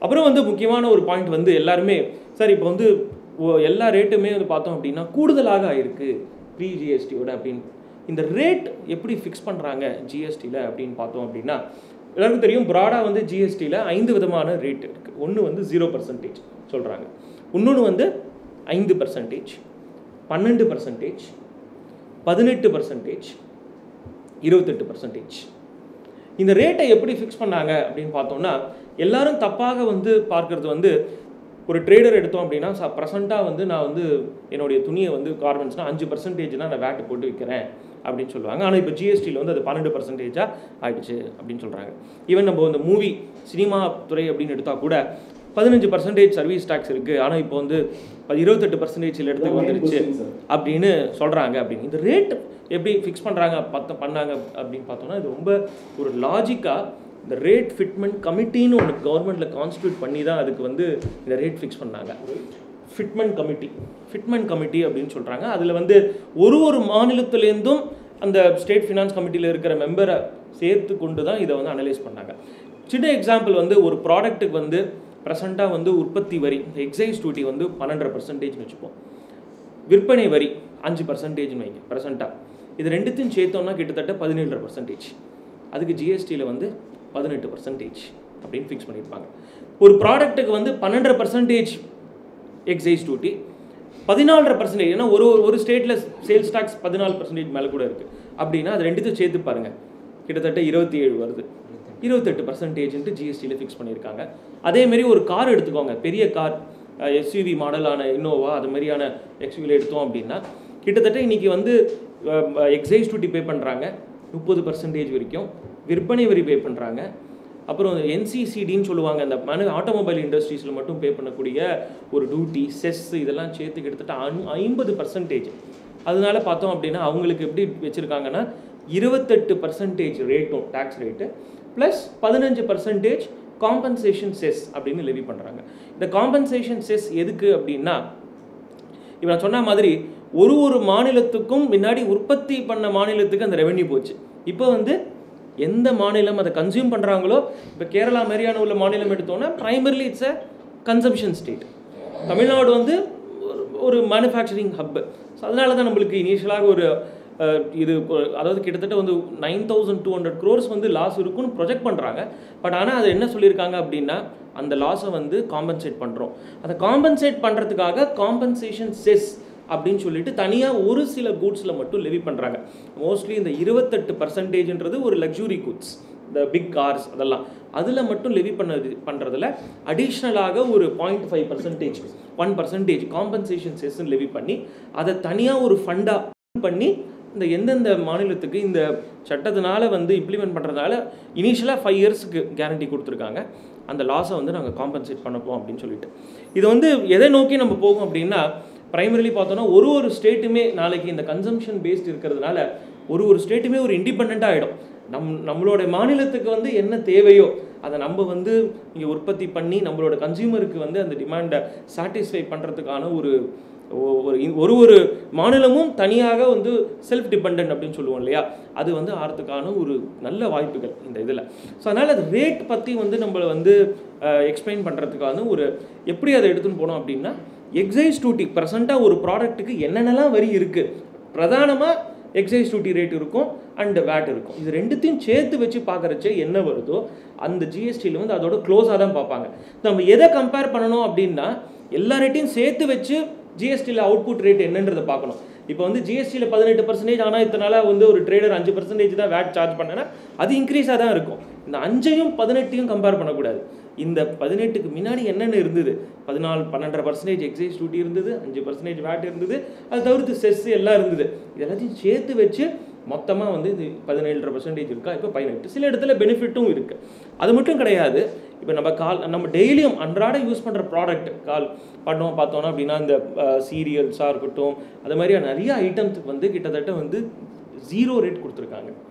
ஒரு ஐம்பது பர்சன்டேஜான ஒரு ப்ராடக்ட் அதாவது இந்த ரேட் டேரிஃபில் ஆயிரத்தி முந்நூறு ப்ராடக்ட் இருக்குது இந்த ரேட் ஃபிக்ஸிங் அப்படின்றது வந்து ஒரு இம்பார்ட்டண்ட்டான ஒரு செக்மெண்ட் அதில் பார்த்தோன்னா ரொம்ப கேர்ஃபுல்லாக ஸ்டடி பண்ணி அந்த ரேட்டில் வந்து ஒரு கிட்டத்தட்ட ஒரு நம்மளோட டெய்லி யூஸ் என்னென்னலாம் யூஸ் பண்ணுறோமோ அது எல்லாத்துக்குமே ஜீரோ பர்சன்டேஜ் ரேட் தான் அவங்க வந்து ஃபிக்ஸ் பண்ணியிருக்காங்க. நிறைய ட்ரேடர்ஸ் வந்து இந்த ஜிஎஸ்டிக்கு வந்து பயப்படுறதுக்கு ஒரு காரணம் அப்படின்னு பார்த்தோம் அப்படின்னா மீடியா கூட சொல்லலாம். ஏன்னா எல்லாருமே வந்து சட்டத்தை வந்து சரியாக படிக்காமல் வந்து இருக்கிறதுக்கான ஒரு ஒரு இது. ஏன்னா நிறைய சரி நிறைய பேர் சரியாக படிக்கிறது இல்லை. ஒரு குட்டை எடுத்து காட்டு பாட்டோம் அப்படின்னா மீடியாவில் எல்லாத்துலேயுமே சொல்கிறது வந்து ஒரு ஒரு மாதத்திற்கும் எல்லா விற்பனையா விற்பனையாளர்களும் மூணு ரிட்டர்ன் ஃபைல் பண்ணணும் இந்த ஜிஎஸ்டியில் அப்படின்னா வருடத்திற்கு முப்பத்தி ஆறு ரிட்டர்ன் ஃபைல் பண்ணணும். அதை தவிர்த்து இந்த எல்லாத்தையும் கன்சால்டேட் பண்ணி ஆனுவல் ரிட்டர்ன் அப்படின்னு சொல்லிட்டு ஒன்று ஃபைல் பண்ணணும் அப்படின்னு சொல்கிறாங்க அது தப்பு. நம்ம சட்டத்தை சரியாக படித்தோம் அப்படின்னா இந்த ஜிஎஸ்டியை வந்து நடைமுறைப்படுத்துறதுக்கு வந்து ஜிஎஸ்டிஎன் அப்படின்னு சொல்லக்கூடிய ஒரு நெட்ஒர்க்கை பிக் சர்வரை வந்து இந்த கான்ஸ்டியூட் பண்ணுறாங்க ஜிஎஸ்டி நெட்வொர்க் ஜிஎஸ்டிஎன் எல்லாருக்கும் தெரியும் அதை வந்து ஒரு ஸ்பெஷல் பர்பஸ் வெஹிக்கல் அப்படின்னு சொல்லக்கூடிய ஒரு தனி கம்பெனியாக அதை நிறுவனம் படுத்தி கவர்மெண்ட்டும் ப்ரைவேட் பார்ட்டியும் சேர்ந்து அந்த ஜிஎஸ்டிஎன் ஏன்னா ப்ரைவேட்டாக இருந்தாலும் டிரான்ஸ்பரன்சி இருக்கும் அப்படிங்கிறதுக்காக வந்து இந்த ஜிஎஸ்டிஎன்ற ஒரு நாளைக்கு வந்து இந்த ஜிஎஸ்டியில் இம்ப்ளிமெண்ட் ஆன அப்புறம் இந்த ஒரு பிஸ்னஸ் ரிஃப் இதை வந்து நம்ம ஜிஎஸ்டி லாவை எப்படி சொல்லலாம் அப்படின்னா இது ஒரு டேக்ஸ் ரிஃபார்ம் மட்டும் கிடையாது. இது வந்து பிஸ்னஸ் ரிஃபார்ம் இந்த ஜிஎஸ்டி அப்படின்றது நம்ம நாளைக்கு எப்படி இந்த பிஸ்னஸ் பண்ண போகிறோம் அப்படின்ற ஒரு நடைமுறையே கம்ப்ளீட்டாக வந்து இந்த ஜிஎஸ்டியில் மாறப்போகுது. நாளைக்கு இன்வாய்ஸ் நம்ம விற்பனை பண்ணுறோன்னா இன்வாய்ஸ் ரைஸ் பண்ணுறோம் இந்த இன்வாய்ஸ் ரைஸ் பண்ணுறது நம்மளுக்கு கடையில் ஆஃபீஸில் வந்து மேனுவலாக இருக்கும். அதுக்கப்புறம் பார்த்தோன்னா அந்த ஜிஎஸ்டியில் எல்லாமே ஆன்லைனில் கொண்டு வந்துட்டாங்க. உங்களுடைய மாத மாதம் நீங்கள் பண்ணக்கூடிய விற்பனைக்கான ஒப்பந்தம் ரிட்டர்ன் ஃபைல் தாக்குதல் பண்ணுறது பேமெண்ட் வரியை வந்து பே பண்ணுறது நாளைக்கு ஆஃபீஸருக்கு ஏதாவது query இருக்கா? அதை வந்து நோட்டீஸ் இஷ்யூ பண்ணி கேட்குறது ஏதாவது விளக்கம் வேணும்னா ஆடிட் அண்ட் அசஸ்மெண்ட்னு சொல்லுவாங்க. எல்லாமே ஒரு ரெஜிஸ்ட்ரேஷன்லேருந்து எல்லாமே ஆன்லைன் நேராக போய் ஆஃபீஸரை வந்து தொண்ணூத்தொம்பது சதவீதம் பார்க்க வேண்டிய இருக்காது. இதுக்கு எக்ஸாம்பிள் இருக்கா சார் அப்படின்னா இருக்குது எல்லாருக்குமே தெரியும். இந்த இந்தியாவில் வந்து கம்பெனி லா சட்டம் அப்படின்னு ஒன்று இருக்குது ரெண்டாயிரத்தி ஒன்றில் வந்து எம்சிஏ டுவெண்ட்டி ஒன் அப்படின்னு ஒரு ஒரு ப்ராஜெக்ட் லான்ச் பண்ணி மினிஸ்ட்ரி ஆஃப் கார்ப்பரேட் அஃபேர்ஸில் லான்ச் பண்ணாங்க. ஆரம்பத்தில் எல்லா ஒரு டெக்னாலஜி பிளாட்ஃபார்முக்கும் நம்ம மாறுறச்சே ஒரு பேங்க்கே வந்து கம்ப்ளீட்டாக இன்டர்நெட் பேங்கிங் போகிறச்சே வந்து நம்மளுக்கான ஒரு ஆரம்பத்தில் வந்து ஒரு தடக்கல் இருக்குது அதேமாரி தடங்குதல் இருந்தது. ஆனால் இன்றைக்கி பார்த்தீங்கன்னா இந்த எம்சிஏ டுவெண்ட்டி ஒன் அட்வான்டேஜ் வந்தோடனே மோர் பர்டிகுலர்லி ஏன்னா நான் நாங்கள் நிறையா இந்த ஆட் இந்த ஆடிட் சர்வீஸில் இருக்கிறதால பார்த்துட்டு இருக்கோம். இந்த மேக் இன் இந்தியா ப்ராஜெக்ட் அது மாதிரி வரச்சு. ரெண்டு நாளில் ஒரு கம்பெனியை ஃபார்ம் பண்ண முடியுது இன்னைக்கு. அவங்க கொடுத்துருக்கிறது ஒரே நாள். பட் மற்ற வேலையெல்லாம் எல்லாம் சேர்த்து வச்சு பார்க்கும்போது கூட நான் ஒரு கம்பெனியை செட் பண்ணுறதுக்கு எல்லாமே ஆன்லைன் சென்ட்ரலைஸ் ரெஜிஸ்ட்ரேஷன் சென்டர் அப்படின்னு டெல்லியில் செட் பண்ணி ஒரு கம்பெனியை நான் நிறுவனம் செட் பண்ணணும் அப்படின்னா டாக்குமெண்ட்ஸ் எல்லாம் எலக்ட்ரானிக் எல்லாத்தையும் அப்லோட் பண்ணிட்டோம் அப்படின்னா ரெண்டே ரெண்டு நாளில் கம்பெனியை வந்து இன்ஃபார்ம் பண்ணி எனக்கு சர்டிஃபிகேட் ஆஃப் இன்கார்பரேஷன் அது மட்டும் கிடையாது இந்த சர்டிஃபிகேட் ஆஃப் இன்கார்பரேஷனில் பேன் நம்பரும் சேர்த்து வந்துடுது இப்போ எனக்கு. அதுக்கப்புறம் முன்னாடிலாம் நான் வந்து சர்டிஃபிகேட் ஆஃப் இன்கார்பரேஷன் வாங்கிட்டு பேன் ஃபார்ம் போய் தனியாக அப்ளை பண்ணி அதுக்கு வெயிட் பண்ணணும். அதுக்கப்புறம் தான் பேங்க் அக்கௌண்ட் ஓப்பன் பண்ண முடியும் கம்பெனிக்கு இன்றைக்கி வந்து நான் ஃபார்மை சப்மிட் பண்ணிட்டேன்னா அவங்களே இன்கார்பரேஷன் சர்டிஃபிகேட்டும் கொடுத்து பேன் நம்பர் டேன் நம்பர் அதுக்கு மட்டும் இல்லை ஒரு எம்ப்ளாயி பிஎஃப் அண்ட் இஎஸ்ஐ ரெஜிஸ்ட்ரேஷன்லாம் இருக்குன்னா அதுக்கான விவரம்லாம் கொடுத்தோன்னா எல்லாத்தையும் சேர்த்து பண்ணி கொடுத்துட்றாங்க. சென்ட்ரலைஸ் ரெஜிஸ்ட்ரேஷனில் இன்டெகிரேட்டட் ப்ராசஸ் முன்னாடி இருபது நாள் ஆகக்கூடிய ஒர்க்கு ஒரே நாள். இது எப்போ சாத்தியம் அப்படின்னா அந்த அட்வான்டேஜ் இப்போ தான் நம்ம பார்க்க முடியுது. இப்போ நான் வந்து எனி இந்தியாவில் இருக்கிற எனி கம்பெனி ஒரு பேசிக் இந்த கம்பெனியில் யார் யார் டேரக்டர் என்னன்னு பார்க்க முடியும்னா அந்த எம்சிஏ இணையதளத்தில் போய் நான் பார்க்க முடியுது. ஸோ இதை வந்து டிரான்ஸ்பரன்சிக்கான ஒரு கம்ப்ளீட்டான ஒரு எக்ஸாம்பிள் எடுத்துக்காட்டு. அதே மாதிரி நாளைக்கு வந்து இந்த ஜிஎஸ்டிஎன் அப்படின்றதுல வந்து நெட்ஒர்க்கில் வந்து பார்த்தோம் அப்படின்னா ஒரு ஒருடைய வெண்டார் உடைய ரேட்டிங்கை நம்ம செக் பண்ணலாம். இப்போ நான் வந்து ஒரு கஸ்ட் ஒரு அசசி இதை வந்து நான் வந்து டேக்ஸ் டிஃபால்ட் இருக்குது எனக்கு. நான் வந்து டேரிய சரியாக டேக்ஸ் பே பண்ணலை அப்படின்னா அந்த ஜிஎஸ்டியில் வந்து எனக்கு ஒரு மார்க் தராங்க. எல்லாருக்கும் ஆரம்பத்தில் நூறு மார்க் கொடுத்துட்றாங்க. அதுக்கப்புறமாக நான் டேக்ஸ் பே பண்ணலை. நான் வந்து சரியாக டிஃபால்ட் அப்படின்னா என்னுடைய மார்க்கை கம்மி பண்ணுறாங்க அதை வந்து சிபில் ரேட்டிங் மாதிரி வச்சுக்கோங்களேன். ஸோ பத்து மார்க் இதை வந்து லாலே வந்து பத்துக்கு ரேட் பண்ணுறாங்க இப்போ அஞ்சுக்கு நாலு சாரி அஞ்சுக்கு ப ப பத்துக்கு அஞ்சு தான் இருக்குது ஆறு பத்துக்கு நாலு தான் எடுத்திருக்கேன் அப்படின்னா என்னோடய ரேட்டிங் கம்மி. இதை வந்து இட்ஸ் அ பப்ளிக் வெப்சைட் நான் வந்து நாளைக்கு ஒருத்தருக்கு கஸ்டமருக்கு ஆர்டர் தரணும் அப்படின்னா அந்த வெப்சைட்டில் போயிட்டு ஜிஎஸ்டி நம்பர் போட்டேன்னு வைங்க. அவங்களுடைய ரேட்டிங் என்ன அப்படின்னு பார்த்துட்டு நாலு தான் அவர் எடுத்திருக்காரு அப்படின்னா அவருக்கு நாளைக்கு நான் பிஸ்னஸ் தரமாட்டேன். ஏன் அப்படின்னா நான் இப்போ அது இன்னொரு சொல்லலாம். இப்போ வந்து இத்தனை நாளாக நான் டேக்ஸ் பே பண்ணலன்னு வைங்க. கவர்மெண்ட்டுக்கு தெரியும் எனக்கு தெரியும். இப்போது ரேட்டிங் ரேட்டிங் வந்துடுது நாளைக்கு வந்து இதுக்கு பேர் என்ன சொல்கிறாங்க நீங்கள் சொன்ன மாதிரி நோ யுவர் கஸ்டமர்னு பேங்க்கில் வச்சுருக்காங்க. நோ யுவர் வெண்டார் கேஒய்வி அப்படின்ற ஒரு கான்செப்டை கொண்டு வர போகிறாங்க கேஒய்வி அப்படின்னு சொல்லிட்டு கம்ப்ளைண்ட்ஸ் ரேட்டிங்னு பேர் வச்சுருக்காங்க இதுக்கு பேர். அண்ட் சட்டத்தில் வந்து பார்த்தோம் அப்படின்னா சில பெனிஃபிட்லாம் தராங்க. ரீஃபண்டெலாம் வந்து ப்ராசஸ் பண்ணணும் அப்படின்னா உங்களுக்கு வந்து ஐம்பது பர்சன்டேஜுக்கு மேலே பத்துக்கு அஞ்சுக்கு மேலே இருந்தால் தான் ரீஃபண்ட் வந்து ப்ராசஸ் பண்ணுறதுக்கான ரேட்டிங்கை அழகாக கொண்டு வந்திருக்காங்க. அதுமாரி நான் வந்து வரியனால கலெக்ட் பண்ணிவிட்டு நான் பே பண்ணாமலாம் இருக்க முடியாது. ஏன்னா நாளைக்கு வெப்சைட்டில் இணையதளத்தை அழகாக தெரிஞ்சிடும் அண்ட் நெட்ஒர்க்கில் எல்லாம் ஆனால் அடங்கிட போகுது. ஸோ இதை நான் எதுக்கு சொன்னேன்னா இந்த கம்ப்ளைண்ட்ஸ் ரேட்டிங் வந்து இந்த ட்ரேடர் எல்லாருமே பயப்படுறதுக்கு காரணம் அது நிறையா ரிட்டர்ன் அப்படின்னு சொல்லிட்டு. இந்த ரிட்டர்ன் ஃபைலிங் மெக்கானிசத்தை இந்த ஜிஎஸ்டிஎனில் எப்படி கொண்டு வந்திருக்காங்கன்னு ஒரு சின்ன எடுத்துக்காட்டு பார்த்தோம் அப்படின்னா மாதம் மூணு ரிட்டர்ன் ஃபைல் பண்ணணும்னு சொல்கிறாங்க அது உண்மைதான். ஆனால் அது எப்படி பண்ணணும் அப்படின்னா ஒரு ஒரு மாதமும் அடுத்த மாதம் பத்தாம் தேதிக்குள்ளே இப்போது ஜூலை அப்படின்னா ஆகஸ்ட் டென்த்துக்குள்ளே ஒரு எடுத்துக்காட்டுக்கு அவங்க அவங்களுடைய விற்பனையை அப்லோடு பண்ண சொல்கிறாங்க எவ்ரி டென்த் சக்சீடிங் அடுத்த மாதம் டென்த் அடுத்த மாதம் டென்த்துக்குள்ளே அவங்களுடைய விற்பனை. விற்பனை மீன்ஸ் அவங்களுடைய சேல்ஸாக இருக்கட்டும் சர்வீஸாக இருக்கட்டும் எல்லாத்தையும். அதை வந்து கொஞ்சம் டீட்டெயில்டாக கொடுக்க சொல்கிறாங்க ஆனால் நம்மளுடைய கம்ப்யூட்டர் ஆஃபீஸில் இருக்க கம்ப்யூட்டரில் எல்லாமே வந்துட போது அது ஒரு ப்ரெஸ் ஆஃப் பட்டனில் நம்ம ஈஸியாக எடுத்துகிட்டு போகிறோம் அடுத்தது பதினஞ்சாம் தேதிக்குள்ளே ஒவ்வொருடைய inward supplies purchase inward supplies அப்படிங்கும்போது பர்ச்சேஸ் மட்டும் இல்லையா என்னுடைய எல்லா எக்ஸ்பென்ஸும் கொடுக்கணும்னு சொல்கிறாங்க ஆனால் இது எப்படி வரப்போகுது அப்படின்னா என்னுடைய விற்பனை இன்னொருத்தருக்கு பர்ச்சேஸ் அவருடைய சேல்ஸ் எனக்கு பர்ச்சேஸ் நாளைக்கு பத்தாம் தேதிக்குள்ளே பிஎஸ்என்எல் அவங்களுடைய விற்பனையை அப்லோடு பண்ணுறச்சே எனக்கு அது எக்ஸ்பென்ஸ் ஸோ நான் என்னுடைய இந்த ஜிஎஸ்டிஎன் நம்பரை பிஎஸ்என்எலுக்கு கொடுத்துட்டேன்னு வைங்க. பத்தாம் தேதிக்குள்ளே பிஎஸ்என்எல் விற்பனையை அப்லோடு பண்ணுறச்சே என்னோட ஜிஎஸ்டிஎனில் பதினோராம் தேதி காலையில் ஆட்டோமேட்டிக்காக வந்து அது பர்ச்சேஸாக உட்காந்துரும் எக்ஸ்பென்சஸாக உட்காந்துரும். இந்த ஜிஎஸ்டிஎன் நம்பர் பதினஞ்சு டிஜிட் நம்பர் இது. இந்த ஜிஎஸ்டிஎன்றது நாளைக்கு வந்து இந்த ஜிஎஸ்டி லான்ச் ஆகிடுச்சுன்னா இது வந்து ஒரு பேங்க் அக்கௌண்ட் நம்பர் மாதிரி. அவங்க அவங்களுடைய விற்பனையை அப்லோட் பண்ணுறச்சே அவங்களுடைய சேல்ஸ் எனக்கு எக்ஸ்பென்சஸ். பேன் கார்டு மாதிரி. ஆர் பேங்க் அக்கௌண்ட் நம்பர் மாதிரி. நாளைக்கு போய் நான் ஒரு ஹோட்டலில் ஸ்டே பண்ணுறேன் நான் ஹோட்டலில் ஸ்டே பண்ணுறச்சே வந்து கடையில் நான் பில் வாங்குறேன். என்னோட கம்பெனி நான் வந்து ஒரு கம்பெனியில் வேலை பண்ணுறேன் அப்படின்னா ஹோட்டலில் ஸ்டே பண்ணுறேன் என்னோட கம்பெனி பேரில் பில்லை கொடுத்துருங்க. நான் வந்து அப்போ தான் செலவு வந்து க்ளைம் பண்ண முடியும் அப்படின்னு சொல்லுவேன். நாளைக்கு இந்த ஜிஎஸ்டி இம்ப்ளிமெண்ட் ஆகணும் இந்த பில்லை வாங்குறச்சே என்னோட எம்ப்ளாயிட்ட என்ன சொல்லிடுவேன்? நம்மளுடைய கம்பெனியை ஜிஎஸ்டி நம்பரை போட்டு வாங்கிட்டு வந்துரு. அப்படிம்பேன். ஸோ அந்த ஹோட்டல் பில்லில் இருக்கிற டேக்ஸ் இருக்கும் பாருங்கள் அந்த ஹோட்டல் பத்தாம் தேதிக்குள்ளே அவங்களுடைய விற்பனையை அப்லோட் பண்ணுறச்சே பதினோராம் தேதி காலையில் என்னோட ஜிஎஸ்டிஎனில் கிரெடிட்டாக அதை வந்து உட்காந்துரும். இன்புட் டேக்ஸ் எக்ஸ்பென்சஸ் ஆட்டோமேட்டிக்காக ஸோ கூட்ஸ் நான் பர்ச்சேஸ் பண்ணாலும் சரி செலவாக இருந்தாலும் சரி எல்லா இன்புட் எல்லாத்துலேயுமே கிரெடிட் எடுத்துக்கலாம்னு சொன்னேன். எக்ஸப்ட் ஒரு ஒன் ஆர் டூ ஐட்டம்ஸ் ரொம்ப நெக்லிஜிபிள் அதை எல்லாமே நான் கிரெடிட் எடுத்துக்கலாம். அதை வந்து ஸோ அதனால் பத்தாம் தேதிக்குள்ளே நான் அப்லோட் பண்ணக்கூடிய அவுட்வேர்ட் சப்ளைஸ் நான் பண்ணி ஆகணும். அதனால் அந்த பதினஞ்சாம் தேதிக்குள்ளே இந்த இன்வெர்ட் சப்ளைஸ் எக்ஸ்பென்சஸ் அண்ட் பர்ச்சேசஸில் இருக்கிற கிரெடிட் அப்லோட் பண்ணுன்னு சொன்னேன் பாருங்கள் அது ஆட்டோமேட்டிக்காக மேஜிக்காக பதினஞ்சு தேதி காலையில் வந்து உட்காந்துரும் அதை நான் வெரிஃபை பண்ணணும். நான் இந்த ஹோட்டலில் ஸ்டே பண்ணேன்னா இது கிரெடிட் இருக்குது எஸ் இதை நான் வெரிஃபை பண்ணிவிட்டு அதை அப்படியே நான் சப்மிட் பண்ண வேண்டியதான் அது யாராவது ஒருத்தர் பண்ணல அப்படின்னா அதை நான் சேர்த்துக்கலாம். நூறு பர்ச்சேஸ் பண்ணியிருக்கேன். தொண்ணூறு வந்துருச்சு. பத்து வரலையா? அதை சேர்த்துக்கும் அதை அப்லோட் பண்ணி விட்டுரு. அதுக்கப்புறமாக அப்லோட் பண்ணிட்டோன்னா பதினஞ்சாம் தேதிக்குள்ளே இருபதாம் தேதிக்குள்ளே ரெண்டுத்தையும் கன்சால்டேட் பண்ணி ஃபைனல் ரிட்டர்ன் அப்லோட் பண்ணணும்னு சொல்கிறாங்க அதுவும் கம்ப்யூட்டரே அழகாக ப்ராசஸ் பண்ணி அதில் ரிட்டர்ன் உட்காந்துருக்க போகுது. ஜிஎஸ்டிஎனில் நம்ம அதை வெரிஃபை பண்ணிவிட்டு அப்லோட் பண்ண போகிறோம் அவ்வளோதான் ஸோ அதனால் வந்து முப்பத்தாறு ரிட்டர்ன் ஃபைல் பண்ணணும். ஒரு ஆண்டு இருக்குது ப்ளஸ் ஒரு மேனுவல் ரிட்டர்ன் ஃபைல் பண்ணணும். சுலபம் பண்ணிட்டாங்க. ஆட்டோமேட்டிக்காக எல்லாம் வந்துரு போகுது அதுவும் எப்படி மானிட்டர் பண்ணுறாங்கன்னா கவர்மெண்ட்டில் இத்தனை நாளாக பார்த்தோம் அப்படின்னு வைங்க. ஒரு சர்வீஸ் டேக்ஸ் கிரெடிட் எடுத்துக்கணுன்னா எனக்கு பில் இருந்தால் போதும். இப்போ நான் வந்து உங்களுக்கு ஒரு சேவை பண்ணுறேன் ஒரு சர்வீஸ் டேக்ஸ் பில்லு கொடுத்துட்டேன்னா அதில் நீங்கள் கிரெடிட் எடுத்துக்கலாம். இப்போ உங்கள்கிட்ட அந்த டேக்ஸை கலெக்ட் பண்ணியிருக்கேன் இல்லையா? அதை நான் கவர்மெண்ட்டில் கட்டியிருக்கலாம். கட்டாமல் போயிருக்கலாம். அது கவர்மெண்ட் எனக்கு ஆடிட் வந்தால் தான் தெரியும்.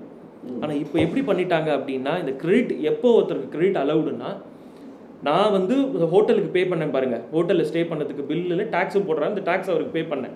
அந்த வரியை அவர் கவர்மெண்ட்டு கட்டியிருக்கணும். அப்போது தான் எனக்கு வந்து அது கிரெடிட் அலோவ் ஆகும். கட்டியிருக்கணும் ரிட்டனும் ஃபைல் பண்ணியிருக்கணும். ஜிஎஸ்டி ரிட்டனும். அப்போ தானே என்னோட நெட்ஒர்க்கில் ஆட்டோமேட்டிக்காக அது வந்து உட்காரும். ஸோ இதுக்கு அறுபது நாள் டைம் தராங்க. அவர் சப்போஸிங் டிலேவாக கட்டிட்டார் அப்படின்னா அறுபது நாளைக்கு ஒன்றும் பாதகம் இல்லை. நான் கிரெடிட் எடுத்துக்கலாம்.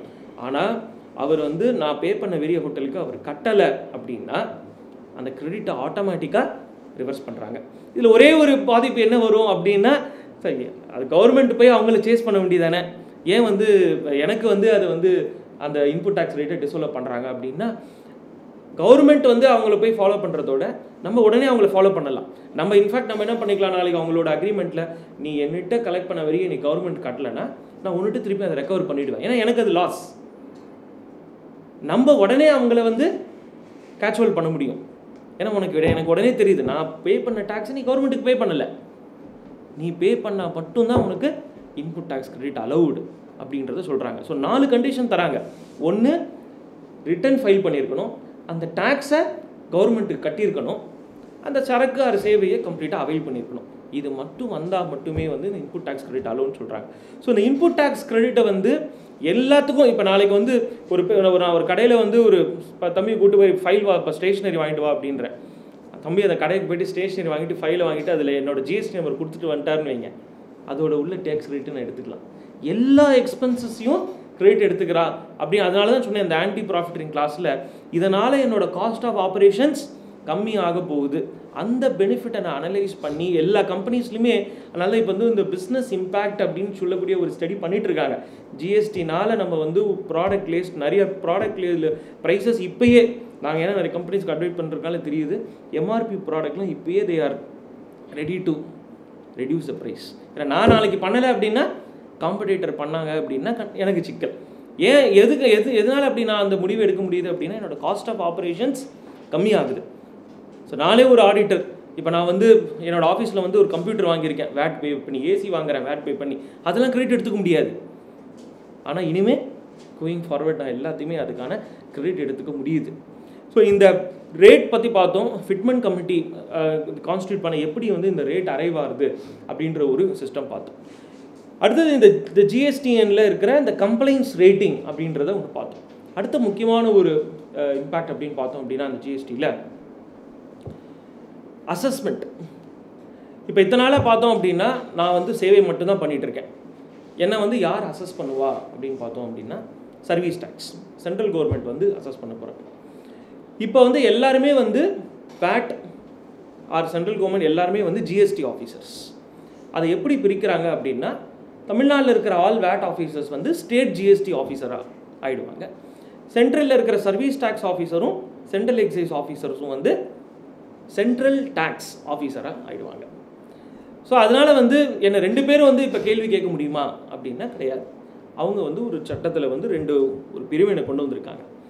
அது எப்படி அப்படின்னா அப் டு ஒன் ஒன்றரை கோடி வரைக்கும் நம்மளோட ஆண்டு மொத்த விற்பனை ஒன்றரை கோடி வரைக்கும் இருக்குது அப்படின்னா அவங்க வந்து ஸ்டேட் ஜிஎஸ்டி ஆஃபீஸர்ஸ் தொண்ணூறு இருப்பாங்க அதாவது என்னுடைய ஆண்டு விற்பனை ஒன்றரை கோடி வரைக்கும் இருக்குது அப்படின்னா அவங்கள யார் அசஸ் பண்ணுவாங்க அப்படின்னா ஸ்டேட் ஜிஎஸ்டி ஆஃபீஸர்ஸ் அதுக்கு மேலே போச்சு அப்படின்னா 90% பர்சன்டேஜ் வந்து fifty fifty fifty percentage state GST ஆஃபீஸர்ஸும் fifty percentage central ஆஃபீஸர்ஸும் அசஸ் பண்ண போகிறாங்க ஸோ அதனால ட்ரேடர்ஸ் வந்து ஸோ ரெண்டு ஆஃபீஸர் வந்து என்னை வந்து அசஸ் பண்ணுறேன் அது பண்ணுறேன்ட்டு பயமுறுத்துவாங்களான்னு கிடையாது.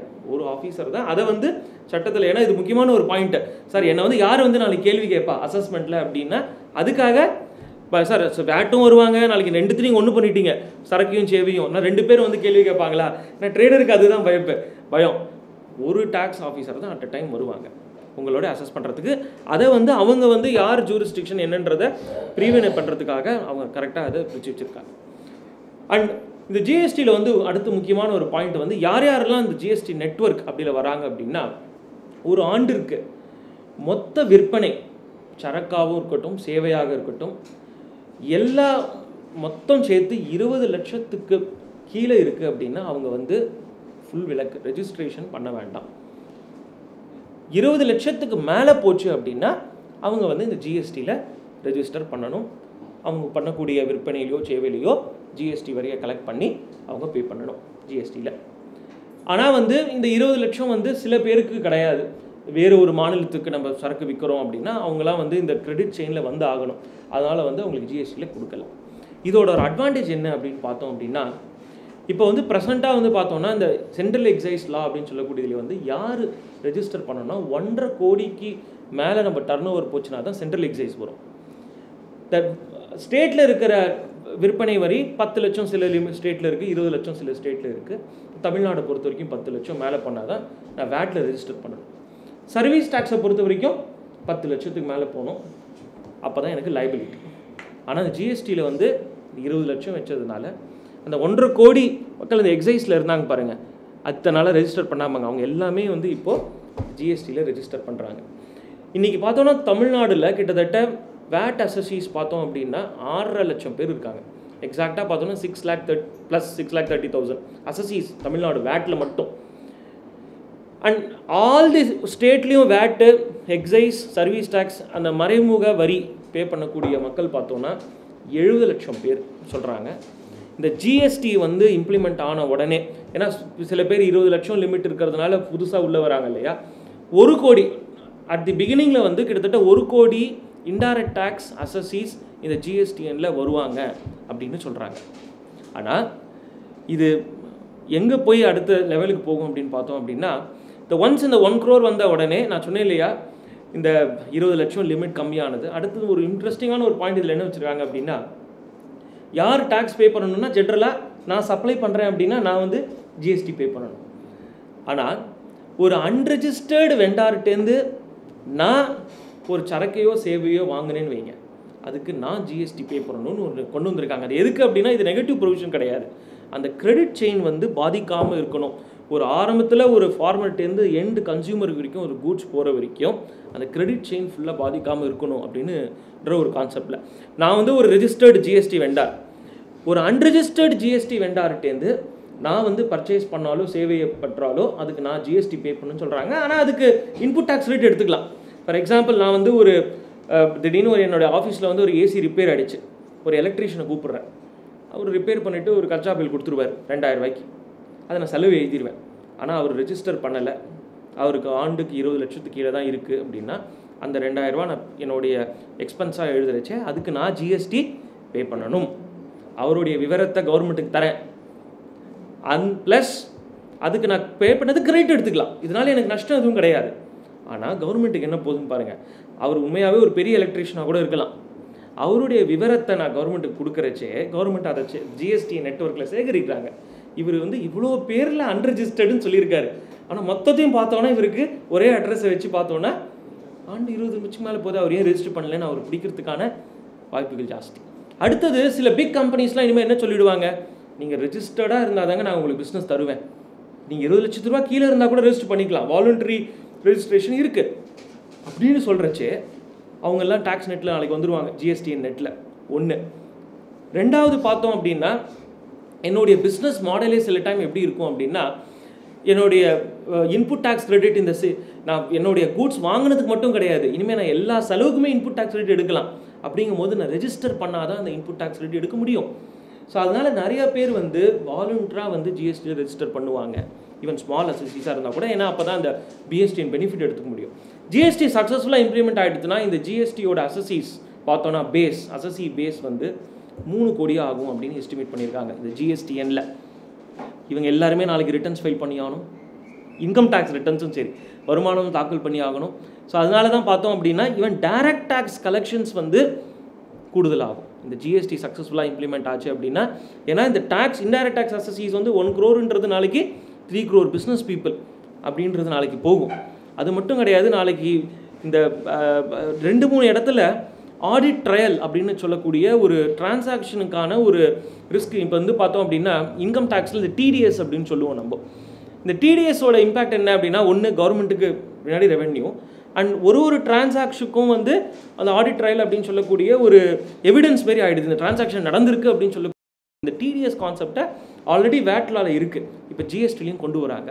ஃபார் எக்ஸாம்பிள் ரெண்டு இடத்துல நான் வந்து இதை நான் சொல்ல முடியும். ஒன்று நம்ம வந்து ஒரு சப்ளை கவர்மெண்ட்டுக்கு பண்ணுறோம் அப்படின்னா any supplies made to government or government agencies இரண்டரை லட்சத்துக்கு மேலே அந்த கான்ட்ராக்ட் வேல்யூ இருந்ததுன்னா கவர்மெண்ட்டுக்கு வந்து நான் ரெண்டரை லட்சம் ப்ளஸ் ஜிஎஸ்டி போடுவேன் இல்லையா? அதை வந்து அவங்களுக்கு பே பண்ணிவிடுவாங்க ஆனால் கவர்மெண்ட் அந்த ரெண்டரை லட்சத்தில் அவங்க கொடுக்க பே பண்ணக்கூடிய அமௌண்ட்டில் ரெண்டு பர்சன்டேஜ் ஒரு percentage CGST one percentage Tamil Nadu ஜிஎஸ்டியை டிடிஎஸாக பிடிச்சு அவங்க கவர்மெண்ட்டு கட்டிடுவாங்க. நான் அதை அல்டிமேட்டாக நான் டேக்ஸ் பே பண்ணுறச்சே நான் கிரெடிட் எடுத்துக்கலாம். ஆனால் இதனால் என்ன பார்த்தோன்னா டிரான்ஸ்பரன்சி நாளைக்கு இதுமாரி ஒரு செயின் இந்தமாரி பிஸ்னஸ் நடந்திருக்கு அப்படிங்கிறது ஒன்று அட்வான்ஸ் டேக்ஸ் கலெக்ஷன் இன்னொன்று இதுமாரி நடந்திருக்குன்ற ஒரு ஆடிட் ட்ரையல் எஸ்டாப்ளிஷ் ஆகுது. அதே மாதிரி இன்றைக்கி இந்த இ காமர்ஸ் டிரான்சாக்ஷன்ஸ் அப்படின்னு பார்த்தோன்னா இந்த அமேசான் அண்ட் ஃப்ளிப்கார்ட் ஒரு கன்சியூமர் நான் வந்து அமேசானில் ஆர்டர் பண்ணுறேன் கூட. இன்னைக்கு இது more than ten million people வந்து இன்னைக்கு இந்த இ காமர்ஸ் பிளாட்ஃபார்மில் அவங்களுடைய சரக்கை வந்து விற்பனை பண்ணுறாங்க சேவையும் சில பேர் விற்பனை பண்ணுறாங்க ஆனால் அவங்களுக்கு ஐடென்டிட்டிலாம் நிறைய பேருக்கு இல்லை. ஏன்னா சில பேர் வந்து அமேசானோட ரெஜிஸ்ட்ரேஷன் நம்பர் வச்சே வந்து பிஸ்னஸ் பண்ணிவிடுவாங்க இன்றைக்கி பார்த்தோம் அப்படின்னா அமேசான் வந்து கஸ்டமர்கிட்டேருந்து கலெக்ட் பண்ணி அந்த ஆக்சுவல் செல்லருக்கு அந்த மணியை கொடுக்குறச்சே அதில் ஜிஎஸ்டிக்கான டிடிஎஸை கட் பண்ணுன்னு சொல்கிறாங்க கட் பண்ணி கவர்மெண்ட்டு கட் நீ அப்புறம் ரிட்டர்ன் ஃபைல் பண்ணி அதை கிரெடிட் எடுத்துக்கோ அப்படின்னு சொல்கிறாங்க ஸோ இதெல்லாம் வந்து டேக்ஸ் பாஸ் பேஸ் இந்த ஒரு கோடியிலேருந்து மூணு கோடி ஆகும். அப்படி எப்படி ஆகும் அப்படின்னா இதுமாரியான விவரத்தினால ஆகும். அடுத்தது எப்படி டைரக்ட் டேக்ஸ் கலெக்ஷன் ஆகும் இன்க்ரீஸ் ஆகும் அப்படின்றது ஒரு பாயிண்ட் இந்த டேக்ஸ் பேஸ் அசசிஸ் இன்க்ரீஸ் ஆகுது. அடுத்தது பார்த்தோம் அப்படின்னா இனிமேல் இப்போலாம் வந்து இந்த இன்கம் டேக்ஸ் ஃபைனலைசேஷன் பண்ணும்போது டு வெரி ஃப்ராங்க் நிறைய பேர் வந்து இந்த இன்கம் டேக்ஸ் வந்து பிளான் பண்ணுறதுக்காக இயர் ரெண்டில் இந்த எக்ஸ்பென்சஸ்லாம் போடுறது. பில் இல்லை பில் இல்லாமல் எக்ஸ்பென்ஸை குத்துறது. இதெல்லாம் இனிமேல் வந்து பாசிபிளே கிடையாது. பில்லெஸ் ட்ரேடிங் அப்படின்னு சொல்லிட்டு ஒரு தனி இதுவே இருக்குது அதெல்லாம் இனிமேல் பாசிபிள் கிடையாது. ஏன்னா ஜிஎஸ்டிஎனில் வந்து ஒரு ஒருவருடைய ஜிஎஸ்டி ரெஜிஸ்ட்ரேஷன் நம்பருக்கும் அவங்களுடைய பிஎன்எல் அக்கௌண்ட்டையே கிட்டத்தட்ட டவுன்லோட் பண்ணிடலாம் நாளைக்கு. ஏன் அப்படின்னா எல்லாருடைய சேல்ஸும் அதில் அப்லோட் ஆகிடுது அவங்க அவங்களுடைய சேல்ஸ் அப்லோட் பண்ணுறச்சு என்னுடைய எக்ஸ்பென்ஸ் ஆகிடுது பர்ச்சேஸ் ஆகிடுது அதுவும் அவங்களுடைய ஜிஎஸ்டி நம்பருக்கு இருக்குது அதை அப்படியே எடுத்துடலாம் மேட்ச் பண்ணி. ஸோ நாளைக்கு வந்து இன்கம் டேக்ஸ் டிபார்ட்மெண்ட் ஆஃபீஸர் வந்து உன்னுடைய பிஎன்எல்ல நீ இவ்வளோ லாபம் காட்டியிருக்க. ஜிஎஸ்டிஎனில் இவ்வளோ தான் லாபம் இருக்குது என்ன வித்தியாசத்துக்கு என்ன ரீசன் நான் வந்து எக்ஸ் அது மட்டும் இல்லை நான் இன்னொரு இம்பார்ட்டண்ட் ஒரு கான்செப்ட் சொன்னேன். ஏதாவது ஒரு எக்ஸ்பென்சஸ் நீங்கள் அன்ரிஜிஸ்டர்ட் பில்லு பில்லு இல்லை ஆர் பில்லில் ஜிஎஸ்டி நம்பர் ஒரு பதிவு பெறாத ஒரு விற்பனையாளர் ஆர் சேவையாளர்கிட்டேருந்து நாம் வந்து குட்ஸோ சர்வீஸோ அவைல் பண்ணணும். நான் அதுக்கு ஜிஎஸ்டி பே பண்ணணும். ஸோ இன்கம் டேக்ஸில் நாளைக்கு வந்து இந்த எக்ஸ்பென்ஸ்லாம் கொடுத்துருக்கோம். இதுக்கு பில் இருக்குது இந்த எக்ஸ்பென்ஸுக்கு பில் இல்லையே ஆர் பில்லு ரெஜிஸ்ட்ரேஷன் நம்பர் இல்லையே அதுக்கு நீங்கள் ஜிஎஸ்டி பே பண்ணியிருக்கீங்களா ஸோ அதனால் நாளைக்கு பிஎன்எல்ல எனி எக்ஸ்பென்சஸ் ஜிஎஸ்டி பே பண்ணாமல் இருக்கவே முடியாது. எம்ப்ளாயியோட சேலரியை தவிர்த்து. ஏன்னா எம்ப்ளாயி சேலரிக்கு இஎஸ்ஐ இபிஎஃப்லாம் இருக்குது ஆல்ரெடி அதை தவிர்த்து எல்லாமே இருக்க முடியாது. அது வந்து இப்போது கவர்மெண்ட்டில் கூட இப்போ வந்து ஸ்மால் ட்ரேடர்ஸ்லாம் விஜா ரெப்ரசன்ட் பண்ணாங்க. சார் நான் வந்து என் கடைக்கு ஒரு டெய்லியும் டீ ஒருத்தர் கொடுக்குறாரு. மாதம் அஞ்சாயிரரூபா பில்லு வருது. பத்தாயிரரூபா பில்லு வருது. அவர் ரெஜிஸ்டர்லாம் பண்ணியிருக்க மாட்டார் சார் அப்போ அதுக்கு நான் ரிவர்ஸ் சார்ஜில் பே பண்ணணுமா கரெக்ட் பே பண்ணணும். இதை ரெப்ரசென்ட் பண்ணதில் கவர்மெண்ட்டும் இப்போ என்ன சொல்லியிருக்காங்க அப்படின்னா ரொம்ப பெனிஃபிட்டும் கொடுத்துட முடியாது. ஏன்னா அவங்களோட நோக்கமே இந்த அன்ரெஜிஸ்டர்டு பர்ச்சேசஸ் எங்கேயாவது ஒரு ட்ரிகர் பண்ணணும் அப்படின்ற ஒரு நோக்கத்தில் ஒரு நாளைக்கு ஒரு மாதத்திற்கு ஒரு மாதம் ஒன் டே சாரி ஒரு ஒரு நாளைக்கு ஐந்தாயிரம் வரைக்கும் அந்த அன்ரெஜிஸ்டர்ட் பர்ச்சேசஸ் அலோன் இனிஷியலாக இப்போ அலோவ் பண்ணியிருக்காங்க அன்ரெஜிஸ்டர்ட் பட் இப்போ வந்து ஒரு மாதத்திற்கு ஐந்து லட்ச ரூபா ஒரு எக்ஸ் ஒரு நம்மளுக்கு அன்ரெஜிஸ்டர்டு பாங்க ஸ்மால் ஸ்மால் டீ எக்ஸ்பென்ஸ் அதெல்லாம் இருக்குன்னா ஒரு நாளைக்கு ஐந்தாயிரம் மாதத்திற்கு ஒன்றரை லட்சம். பாக்கி உள்ள அன்ரெஜிஸ்டர்ட் எக்ஸ்பென்சஸ்க்கு நீங்கள் ரிவர்ஸ் சார்ஜ் அப்படின்னு சொல்லுவாங்க இதை. நேர்முகம் நான் சப்ளை பண்ணுறதுக்கு ஃபார்வர்டு சார்ஜ் நான் எக்ஸ்பென்சஸ் அவைல் பண்ணியிருக்கேன் பட் நீ ரெஜிஸ்டர் இல்லை அப்படின்னா ரிவர்ஸ் சார்ஜ் அப்படின்னு சொல்கிறாங்க ரிவர்ஸ் சார்ஜ் மெக்கானிசமில் சர்வீஸ் ரெசிபியன்ட் யாரோ கூட்ஸ் யார் வாங்குறாங்களோ அவங்க பே பண்ணணும் அப்படின்னு சொல்கிறாங்க இதுக்கு வந்து ஐந்தாயிரம் ஒரு நாளைக்கு வந்து விலக்கு கொடுத்துருக்காங்க. பாக்கிக்கு மட்டும் பே பண்ணால் போதுன்ட்டு ஏன்னா ஸ்மால் ட்ரேடர்ஸ்லாம் கூட இருக்காங்க அப்படின்ற மாதிரி. பாதிக்கப்பட மாட்டார்கள் கண்டிப்பாக. அடுத்தது வந்து பார்த்தோம் அப்படின்னா இந்த டைரக்ட் டேக்ஸ் கலெக்ஷன்ஸ் சொன்னேன். டைரக்ட் டேக்ஸ் கலெக்ஷன்ஸ் கூடுது இன்டைரக்ட் டேக்ஸ் கலெக்ஷன்ஸ் கூடுது அப்படிங்கும் போது மொத்தம் பார்த்தோன்னா இந்த நாட்டிற்கான அந்த ஜிடிபி அப்படின்னு சொல்லக்கூடிய கிராஸ் டொமஸ்டிக் ப்ராடக்ட் வந்து மூணு பர்சன்டேஜ் வரைக்கும் கூடுதலாக ஆகிறதுக்கான வாய்ப்புகள் இருக்குது அப்படின்னு சொல்லலாம். ஏன்னா ஒன்ஸ் ரெவென்யூ க்ரோஸ் ஆச்சு அப்படின்னா அதோட பெனிஃபிட் என்ன? ஜிடிபி ஜிடிபி க்ரோஸ் ஆகுங்கும் போது நம்மளுடைய கவர்மெண்ட்டோட பட்ஜெட்டில் இருக்கக்கூடிய டெபிசிட் டெபிசிட் கம்மியாகும். டெபிசிட் கம்மியாகும் அப்படிங்கும்போது வருமான வரி ரேட் நாளைக்கு கம்மியாகும். இப்போ முப்பது பர்சன்டேஜ் இருக்கிற ரேட் இருபத்தஞ்சு ஆகும் இது எல்லா ஏன்னா இந்த சிஸ்டம் வந்தது அப்படின்னா இப்போ என்ன எல்லாருமே வந்து ஜென்ரலாக ஒரு சொல்லக்கூடிய வந்து ஒரு விவரம் வந்து டேக்ஸ் ரேட்ஸ் வந்து நான் எதுக்கு வருமான வரி பே பண்ணணும் நான் வந்து இன்டைரக்ட் டேக்ஸ் ரேட்டு பே பண்ணணும் அப்படின்னா எல்லாருக்கும் தெரிஞ்ச ஒரு விஷயம் அப்படின்னா கா- நான் ஒரு ஒரு மக்களுக்கும் டிஃபென்ஸில் வந்து நாட்டில் வந்து ஒரு ஒரு சிட்டிசனுக்கும் எவ்வளோ இன்வெஸ்ட் பண்ணுறாங்க நான் வந்து இங்கே வந்து பாதுகாப்பாக இருக்கணும் அப்படின்னா என் பேரில் ஆவரேஜாக ஐந்தாயிரம் ரூபாய் வரைக்கும் கவர்மெண்ட்டில் இன்வெஸ்ட் பண்ணுறாங்க அதுக்கு வந்து எப்படி கவர்மெண்ட்டுக்கு அப்போ ரெவென்யூ கிடைக்கும்? நான் வந்து நான் ஐந்தாயிரம் ரூபாய் எனக்கு இன்வெஸ்ட் பண்ணி ப்ரொடக்ஷன் ஒரு ஒரு சிட்டிசனுக்கும் நூறு கோடி மக்களுக்கு ப்ரொடக்ஷன் தரத்துக்கு இப்போதைக்கு ரெண்டு கோடி மக்கள் மூணு கோடி மக்கள் தான் டேக்ஸ் பே பண்ணுறாங்க நீங்கள் சொன்னீங்க. ஒன்றரை கோடி மக்கள் தான். ஸோ அந்த ரேஷியோ பார்த்தோம் அப்படின்னா அப்போ வந்து நூறு கோடி மக்களுக்கு டிஃபென்ஸ் ப்ரொடக்ஷன் தராங்க. இது ஒரு ஃபேமிலி மாரி தான். ஒருத்தர் தான் ஏர்ன் பண்ணுவாங்க. ஆனால் அஞ்சு பேரை காப்பாற்றணும் அதே மாதிரி தான் இந்தியாவில் வந்து நூறு கோடி மக்கள் இருக்காங்க. ஆனால் ஒரு கோடி மக்கள் தான் டேக்ஸ் பே பண்ணுறாங்க ஒரு ஒரு ஃபேமிலி பட்ஜெட் மாரி தான் இந்த இந்தியாவோட பட்ஜெட்டும் அதில் வரக்கூடிய நம்ம டெஃபிசிட்டை நம்ம பிளான் பண்ணி தான் நம்ம வந்து போனோம் அதனால் வந்து நான் வரி நான் வந்து நான் கட்ட மாட்டேன். எதுக்கு நான் நேர்முக வரியும் பே பண்ணணும் மறைமுக வரியும் பே பண்ணணும் அப்படின்னுன்ற ஒரு க- ஒரு ஒரு விவாதத்துக்கான ஒரு ஒரு எடுத்துக்காட்டு அது. அடுத்தது இந்த ஜிஎஸ்டியில் வந்து சிறு தொழிலாளருக்கு எப் என்னென்னலாம் பெனிஃபிட் கொடுக்குறாங்க அப்படின்னா ஒன்று என்னுடைய ஆண்டரோடைய மொத்த விற்பனை எழுபத்தஞ்சு லட்சத்துக்கு கீழே இருக்குது அப்படின்னா ஒப்பனை வரி அப்படின்னு சொல்லக்கூடிய காம்போசிஷன் ஸ்கீம் அப்படின்னு சொல்கிறாங்க இதுக்கு பேர் தொகுப்பு வரி அப்படின்னு சொல்லலாம். தொகுப்பு வரி. காம்போசிஷன் ஸ்கீம் வந்து கண்டிஷன் வந்து நான் சர்வீஸ் ப்ரொவைடராக இருக்கக்கூடாது. நான் வந்து ஒரு கூட்ஸ் சரக்கு விற்கிறவராக இருக்கணும் ஆர் உற்பத்தி பண்ணலாம் ஆர் விற்கலாம் ஆனால் இன்டர் ஸ்டேட் வேறு ஒரு மாநிலத்திற்கு ஏன்னா வேறு மாநிலத்துக்கு போகும்போது கிரெடிட் செயின் மிஸ் ஆகக்கூடாது. அதனால் நான் ரெஜிஸ்டர் பண்ணி நான் ஜிஎஸ்டி போட்டு தான் அதை அனுப்பணும். வேறு மாநிலத்திலேருந்து சரக்கை வாங்கலாம். ஆனால் விற்பனை பண்ணுறது லோக்கல் ஸ்டேட்டில் தான் இருக்கணும். அது ஒரு கண்டிஷன் எழுபத்தஞ்சு லட்சத்துக்கு கீழே என்னோட டர்ன் ஓவர் இருந்ததுன்னா நீ ஜிஎஸ் உன்னோட இன்வாய்ஸில் ஜிஎஸ்டி போட வேண்டாம். மொத்தம் உன்னுடைய மாதம் விற்பனைக்கு மேனுஃபேக்சராக இருந்தால் ரெண்டு பர்சன்டேஜ் ட்ரேடராக இருந்தால் ஒரு பர்சன்டேஜ் இதை வந்து ரெண்டாக பிரித்து கட்டணும். என்ன எல்லா டேக்ஸ் ரேட்டு மாதிரி ரெண்டு பர்சன்டேஜ் மேனுஃபேக்சராக இருந்தால் one percentage CGST one percentage Tamil Nadu GST ட்ரேடராக இருந்தால் ஒன் பர்சன்டேஜில் வந்து அரை பர்சன்டேஜ் சிஜிஎஸ்டி அரை பர்சன்டேஜ் தமிழ்நாடு ஜிஎஸ்டி அப்படின்னு பிரித்து காட்டணும். ஹோட்டல்ஸ் அண்ட் ரெஸ்டாரண்ட்டாக இருந்தால் அஞ்சு பர்சன்டேஜ் சொல்கிறாங்க ரெண்டரை பர்சன்டேஜ் சிஜிஎஸ்டி ரெண்டரை பர்சன்டேஜ் தமிழ்நாடு ஜிஎஸ்டி நான் வந்து ஒரே ஒரு இதுனா நான் பர்ச்சேஸ் பண்ணதில் கிரெடிட் எடுத்துக்க முடியாது. சேல்ஸ்லேயும் நான் வந்து நுகர்வோர்கிட்டேருந்து டாக்ஸ் போட்டு வாங்க வேண்டாம். என்னோட கை விட்டு ரெண்டு பர்சன்டேஜ் ஏன் அப்படின்னா சில பேருக்கு வந்து இந்த இன்வாய்ஸ் கொடுக்கறது அண்ட் ரெக்கார்ட்ஸ் மெயின்டைன் பண்ணுறது எழுபத்தஞ்சு லட்சம் இல்லை முன்னாடி ஐம்பது லட்சமாக இருந்தது. ரெப்ரசன்டேஷன்ஸை கொடுத்த அப்புறமாக எழுபத்தஞ்சு லட்சத்துக்கு வந்து இதை உயர்த்தியிருக்காங்க இது அனதர் இம்பார்ட்டன்ட் பார்த்தோம் அப்படின்னா இந்த நாளைக்கு வந்து இந்த ஜிஎஸ்டியில் வந்து ஏதாவது ஒரு சேஞ்சஸ் கொண்டு வரணும் அப்படின்னா இத்தனை நாளாக வந்து பார்த்தோம்னா நம்ம ரெப்ரசன்டேஷன்லாம் பண்ணுவோம் இப்போ வந்து ஜிஎஸ்டியில் எல்லாமே வந்து நடைமுறைப்படுத்துக்கு வந்து ஒரு கவுன்சில்னு அமைக்கப்படுறாங்க. ஜிஎஸ்டி கவுன்சில் அப்படின்னு சொல்லிட்டு. கவுன்சிலோட பிரசன்ட் சேர்மன் வந்து ஃபினான்ஸ் மினிஸ்ட்ரி அதுக்கப்புறம் ஒரு ஒரு மாநிலத்துலேருந்தும் ரெப்ரசன்டேஷன்ஸ் அதை கொண்டு வராங்க இந்த ஜிஎஸ்டி கவுன்சிலில் எல்லா மாற்றத்திற்குமே அவங்களுடைய அப்ரூவல் வந்து தேவைப்படுது. லாஸ்ட் ஒரு சிக்ஸ் மந்த்ஸாக பார்த்தோம் அப்படின்னா எனி ரெப்ரசன்டேஷன்ஸ் அந்த வந்து ஒரு கமிட்டியை வந்து கான்ஸ்டிடியூட் பண்ணி என்ன ரெப்ரசன்டேஷன் கொடுத்தாலும் அதை வந்து கன்சிடர் பண்ணி ஃபேவரபுளாக தான் ஆக்ஷன்ஸ் எடுத்திருக்காங்க. ஒரு குட்டி எடுத்துக்காட்டு சொல்லணும் அப்படின்னு பார்த்தோம் அப்படின்னா டெக்ஸ்டைல் மேனுஃபேக்சரிங் திருப்பூரில் இருக்கக்கூடிய டெக்ஸ்டைல் மேனுஃபேக்சரிங் பார்த்தோம் அப்படின்னா அவங்களுடைய ஜாப் ஒர்க் ஏன்னா திருப்பூரை பொறுத்த வரைக்கும் ஒரு டெக்ஸ்டைலை வந்து நம்ம ஃபேப் எண்டு கார்மெண்ட்டாக ஆக்கிறதுக்கூடிய நிறையா ஸ்டேஜஸ் இருக்குது யான் யான்லேருந்து தென் தே மேக் காட்டன் காட்டன்லேருந்து இந்த ஃபேப்ரிக் பண்ணிவிட்டு கார்மெண்ட் ஆகுது. அதுக்கப்புறம் டையிங் பண்ணணும் நெட்டிங் பண்ணணும். இது எல்லா ஸ்டேஜுக்கும் ஜாப் இருக்குன்னு சொல்லுவாங்க. ஆரம்பத்தில் வந்து எல்லா சர்வீசஸ்க்கும் பதினெட்டு பர்சன்டேஜ்னு இருந்தது. இந்த ஜாப் இதெல்லாம் வந்து ஒரே இண்டஸ்ட்ரி எல்லா ஸ்டேஜையும் வந்து பண்ணக்கூடிய வந்து இண்டஸ்ட்ரி பார்த்தோன்னா ரொம்ப கம்மியாக தான் இருக்கும். எல்லாருமே அதில் வந்து நான் இப்போ டையிங் பண்ணேன்னா டையிங் மட்டும்தான் பண்ணுவேன்.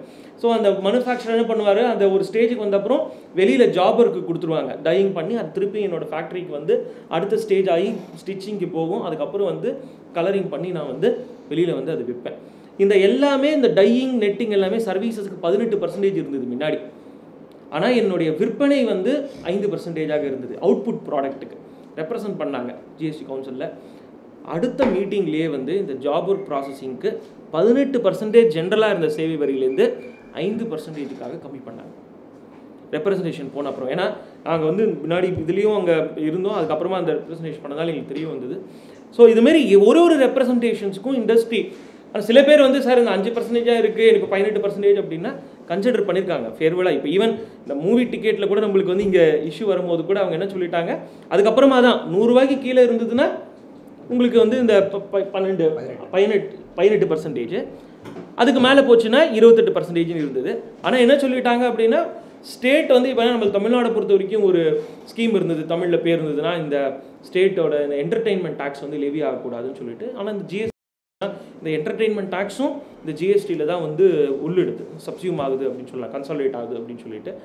அதில் என்ன சொல்லிட்டாங்க இந்த பதினெட்டு பர்சன்டேஜில் ஒன்பது பர்சன்டேஜ் சென்ட்ரல் கவர்மெண்ட்டு ஒன்பது பர்சன்டேஜ் தமிழ்நாடு கவர்மெண்ட் இதை வந்து வேணால் நீங்கள் டைரக்ட் பெனிஃபிட் ட்ரான்ஸ்ஃபர் மாரி ரீம்பர்ஸ் பண்ணிக்கோங்க. அப்படின்னு சொல்லிட்டாங்க கண்டிஷனில் ஏன்னா நான் வந்து ஒரே மாநிலத்திற்காக மட்டும் நான் வந்து எந்த ஒரு எக்ஸம்ஷன்ஸையும் ஜிஎஸ்டியில் கொண்டு வர முடியாது. உங்களுக்கு வேணும்னா பவர் எடுத்து நீங்கள் ரீஇன்வெஸ்ட்மெண்ட் பண்ணிக்கோங்க. உங்களோட தமிழ்நாடு டேக்ஸ் ரேட்டை அந்த என் வருது. அதுமாரி இந்த சினிமாவில் வந்து பார்த்தோம் அப்படின்னா இன்றைக்கி வரைக்கும் என்டர்டெயின்மெண்ட் டேக்ஸு அந்த அப்புறம் இந்த சர்வீஸ் டேக்ஸ் இதெல்லாம் சேர்த்து கிட்டத்தட்ட ஒரு முப்பத்தஞ்சுலேருந்து நாற்பது பர்சன்டேஜ் வருது. இப்போ ஜிஎஸ்டியில் மேக்ஸிமம் ரேட் எடுத்தாலும் இருபத்தெட்டு பர்சன்டேஜ் தான். சில பேர் வந்து பதினஞ்சு பர்சன்டேஜ் சேவை வரி இப்போ இருபத்தெட்டு பர்சன்டேஜ் ஆயிடுச்சுன்னு பார்க்குறாங்க அதை மட்டும் கம்பேர் பண்ணக்கூடாது. இதுக்கு மேலே என்டர்டெயின்மெண்ட் டேக்ஸ் இருந்தது. அண்ட் நீங்கள் வந்து நம்ம ஆடியோ ஆடியோ எக்யூப்மெண்ட் வாங்குறோம் நாளைக்கு சினிமா தேட்டரில் எக்யூப்மெண்ட்ஸ் ஃபார் ப்ரொஜெக்டிங் வாங்குறோம். இதுக்கெல்லாம் வேட் பே பண்ணி வாங்கியிருப்போம். அதெல்லாம் கிரெடிட் எடுக்க முடியுமா?